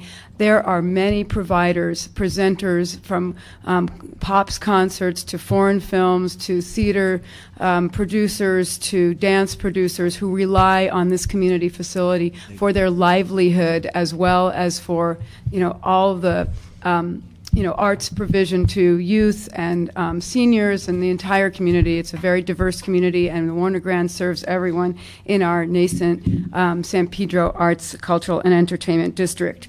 We um, there are many things I wanted to say earlier, but I wanted to say that there's a few points about this that we wanted to mention. One is that we would urge that instead of an RFP, an RFQ be considered to look at the qualifications of applicants and better understand how they would run the theater and why they should run the theater.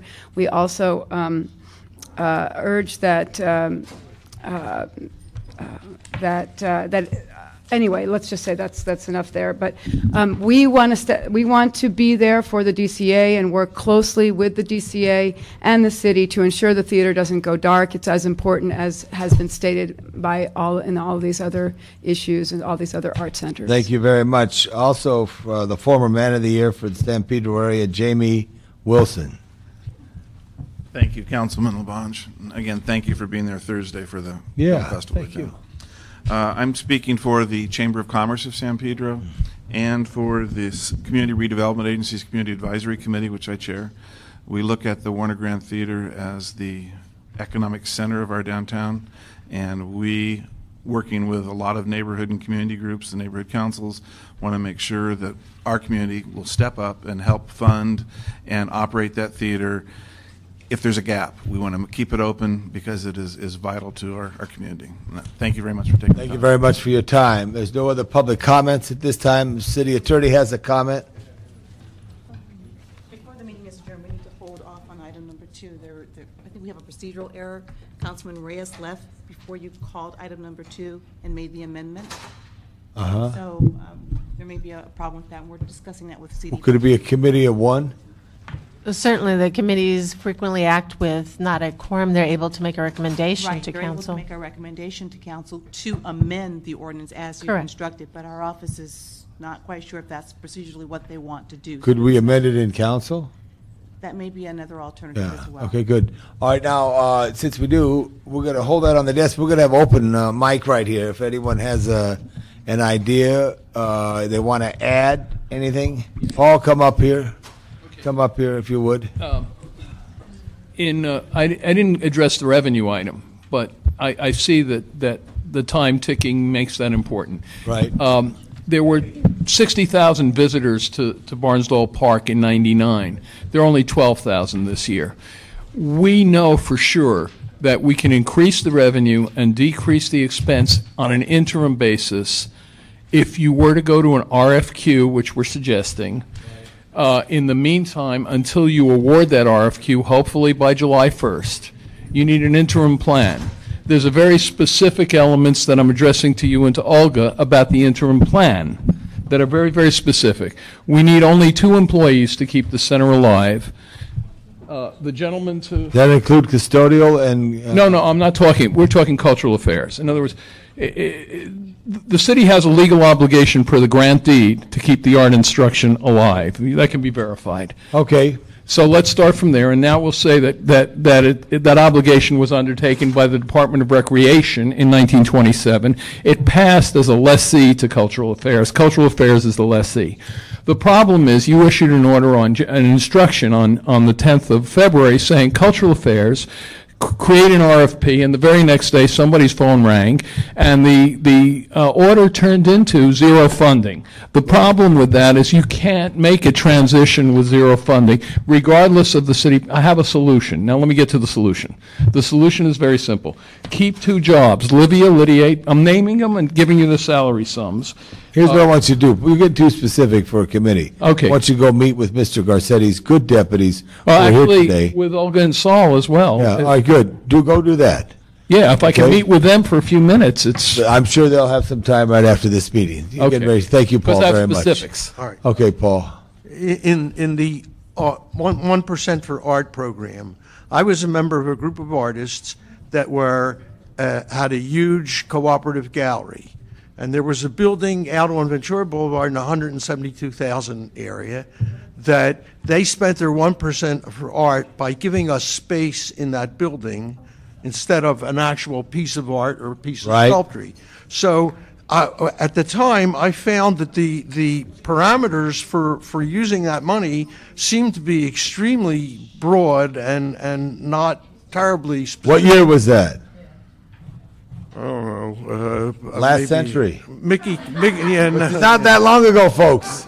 Not that long ago. Uh, L.A. Art, Mickey Kaplan was the guy who ran the show there. 1990, 1995? Eh, 98. All right, we'll look it up. Look it up in records. You know, uh, but Who'd you work with from uh, Mr. Browdy, or did you work with what council person? Uh, no, the the person that Mickey worked with was Al Nodal. Al, all right, I'll talk to Al Nodal. Neil and Al Nodal. Okay. Okay, good. So that's Super. to say, it- it- the Thank you. money the money isn't as as restrictively used as, as you seem to it. It is now. They changed the one percent per hour parameters.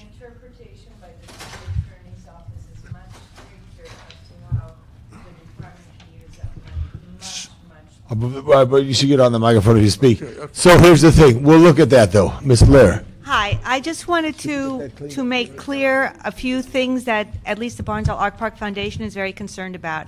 And one of them is that, um, that we do use this as an opportunity, that this is not something that the DCA should be running, and they, it, it, it hasn't worked for, for many reasons. Right. And in privatizing it, we don't want to end up where the other centers did when they started. They struggled for 10 years. I mean, the McGroarty, uh, Claire explained how well they're doing now, but this is 15 years later. Right. The first 10 years were a disaster, and Barnsdall is way too important for that to happen to. So if we could get a, a modest amount of the budget that now goes into the Barnsdall Art Park Right. we could do a a a, um, a nonprofit could could run that um, to to world class standards as as an, as a world class center. Very We've good. worked out the numbers. But We- here's what- here's what- just to but- give you an I just idea. wanna- uh, Reyes brought up something. Mr. like- yeah, Reyes. Mr. Reyes, sorry, I get that. uh, brought up something that You went was to the same high school, you know, Mr. Hickman would have corrected you in English on that one. that's true. um, that this is not something that can be run by volunteers. This is a very professional organization, Right. and, and, and, and it should become a, a prof- an institution of I got it. world But. You know, the county had a problem years ago, and they went out and got these partnership. The county of Los Angeles County Recreation and Parks has the Hollywood Bowl under their jurisdiction. It's operated by the Philharmonic Organization, but it gets a stipend, a big one, from the county to help that cost. To bridge it, Same thing- right. Bridget, to Bridget. So those types of because we don't i can just just for people to understand there are many imaginative and innovative ways to to get revenue but you can never get enough revenue from the services you provide to, to, to make that budget. So you need a five-year lead time to get the foundation money. Exactly, but we may not have five years, but we'll figure it out. That's what we do. How's your brother doing? Both of them are fine. Both of them are fine. Good. Thank you so much. Hello again. I'm back. All right. Um, I just wanted to say again about our, our art instructor is gone. So we need that like to be looked at immediately. And we, we also want to be able to really be separated out in a way where privatization is looked out thoroughly, because if it's not done correctly, we're going to suffer for the next 15, 20 years, just like the William Reagh Photography Center is Right. no longer in existence because it was privatized out, and city gets busy, and through attrition, you have people get promoted and move to other cities, and they forget the history of development in the area. The, the Watts Center has world-renowned we don't even have to advertise. We're not even advertised. When they call down, the police department gets us. So the cultural tourism development there speaks to the fact that everybody comes to this city. The leading industry is tourism. Right. We've got everything we need. All we're asking is for the city to come together and to allow us this next five years to develop ourselves into being uh, a proper place to receive them, both structurally and archi- architecturally and culturally. And so we're, the community's right where they need to be in developing that. We just need the city to include us in the plans as opposed to planning without us. Thank you. Thank you. Thank you very much. You're my council person. Yes. I'm right down the street from you. I'm in Toluca Lake, but I'm Yes. director of the Watts Towers Art Center and Charles Mingus Youth Arts Center. I've been an employee for 20 years with the city, working for the Cultural Affairs Department. The Watts Towers Art Center is not just an art center. Uh, our art instructor, who's just been let go, actually is a is a true example of why it exists. Uh, he grew up in the community. He went to school in the community. He went to college. He came back, and now he's teaching at the Watts Towers Art Center. He's been an employee for the with the city for 11 years, and uh, he's one of the one who has a two week two week notice. Uh, we are a social service organization too. Parents come there looking for their kids when they run away because they know they will come to us first. Our building has not been tagged in 50 years, and there's the gap is there every day, all day long in the community, uh, taking graffiti off of the area. It's a place that everybody res- respects. The Bloods, the the Fifth Hill, the 10th Line, the, the Grape Street, all of them, them respect that campus because they know that young people can come there and be safe. They also know that they can come there and get food to eat. Our children know that they can come after school and get a snack. They know that they can come in there anytime to uh, have support from us. So I'm just advocating for our center because it's so important that our council people understand, and I know you do, that we are your gift to the community. We represent you in the community by offering these services that ensuring that there's equal arts education for all children. Our children won't get it if we if we're not there. So we want to continue to represent you in the community, the council people in the community by providing to the constituency insured arts education. And our community is de- is in desperate need of that. Thank you so much. Thank you so much. If I just may, this is something I hope will be a, a springboard, an idea that an opportunity is coming in the near future, which may help the situation for the arts in Los Angeles as a whole, and it's focused on the Watts Towers. Last year, a year ago, uh, uh, this April, was the first in, international academic conference about the Watts Towers at the University of Genoa in Italy. A number of people here in this room were there. The next international academic conference on the Watts Towers will be right here in Los Angeles, sponsored at UCLA. It's called the Common Ground Initiative. It already has the support of the Italian consulate and the Italian government. Part of the focus of this is not just the towers, but the towers' role in the community and the importance of the arts and the Arts Center to that community. Uh, there will be people from all over the world coming to this conference. I believe that this uh, is a springboard for some of the ideas we need to keep that. Uh, that campus open and functioning, and uh, all of Los Angeles better be aware of it. Thank you so much. Thank you. Thank you. That closes general public comment on general public time. Let's go back to item number two. We have a report for the city attorney.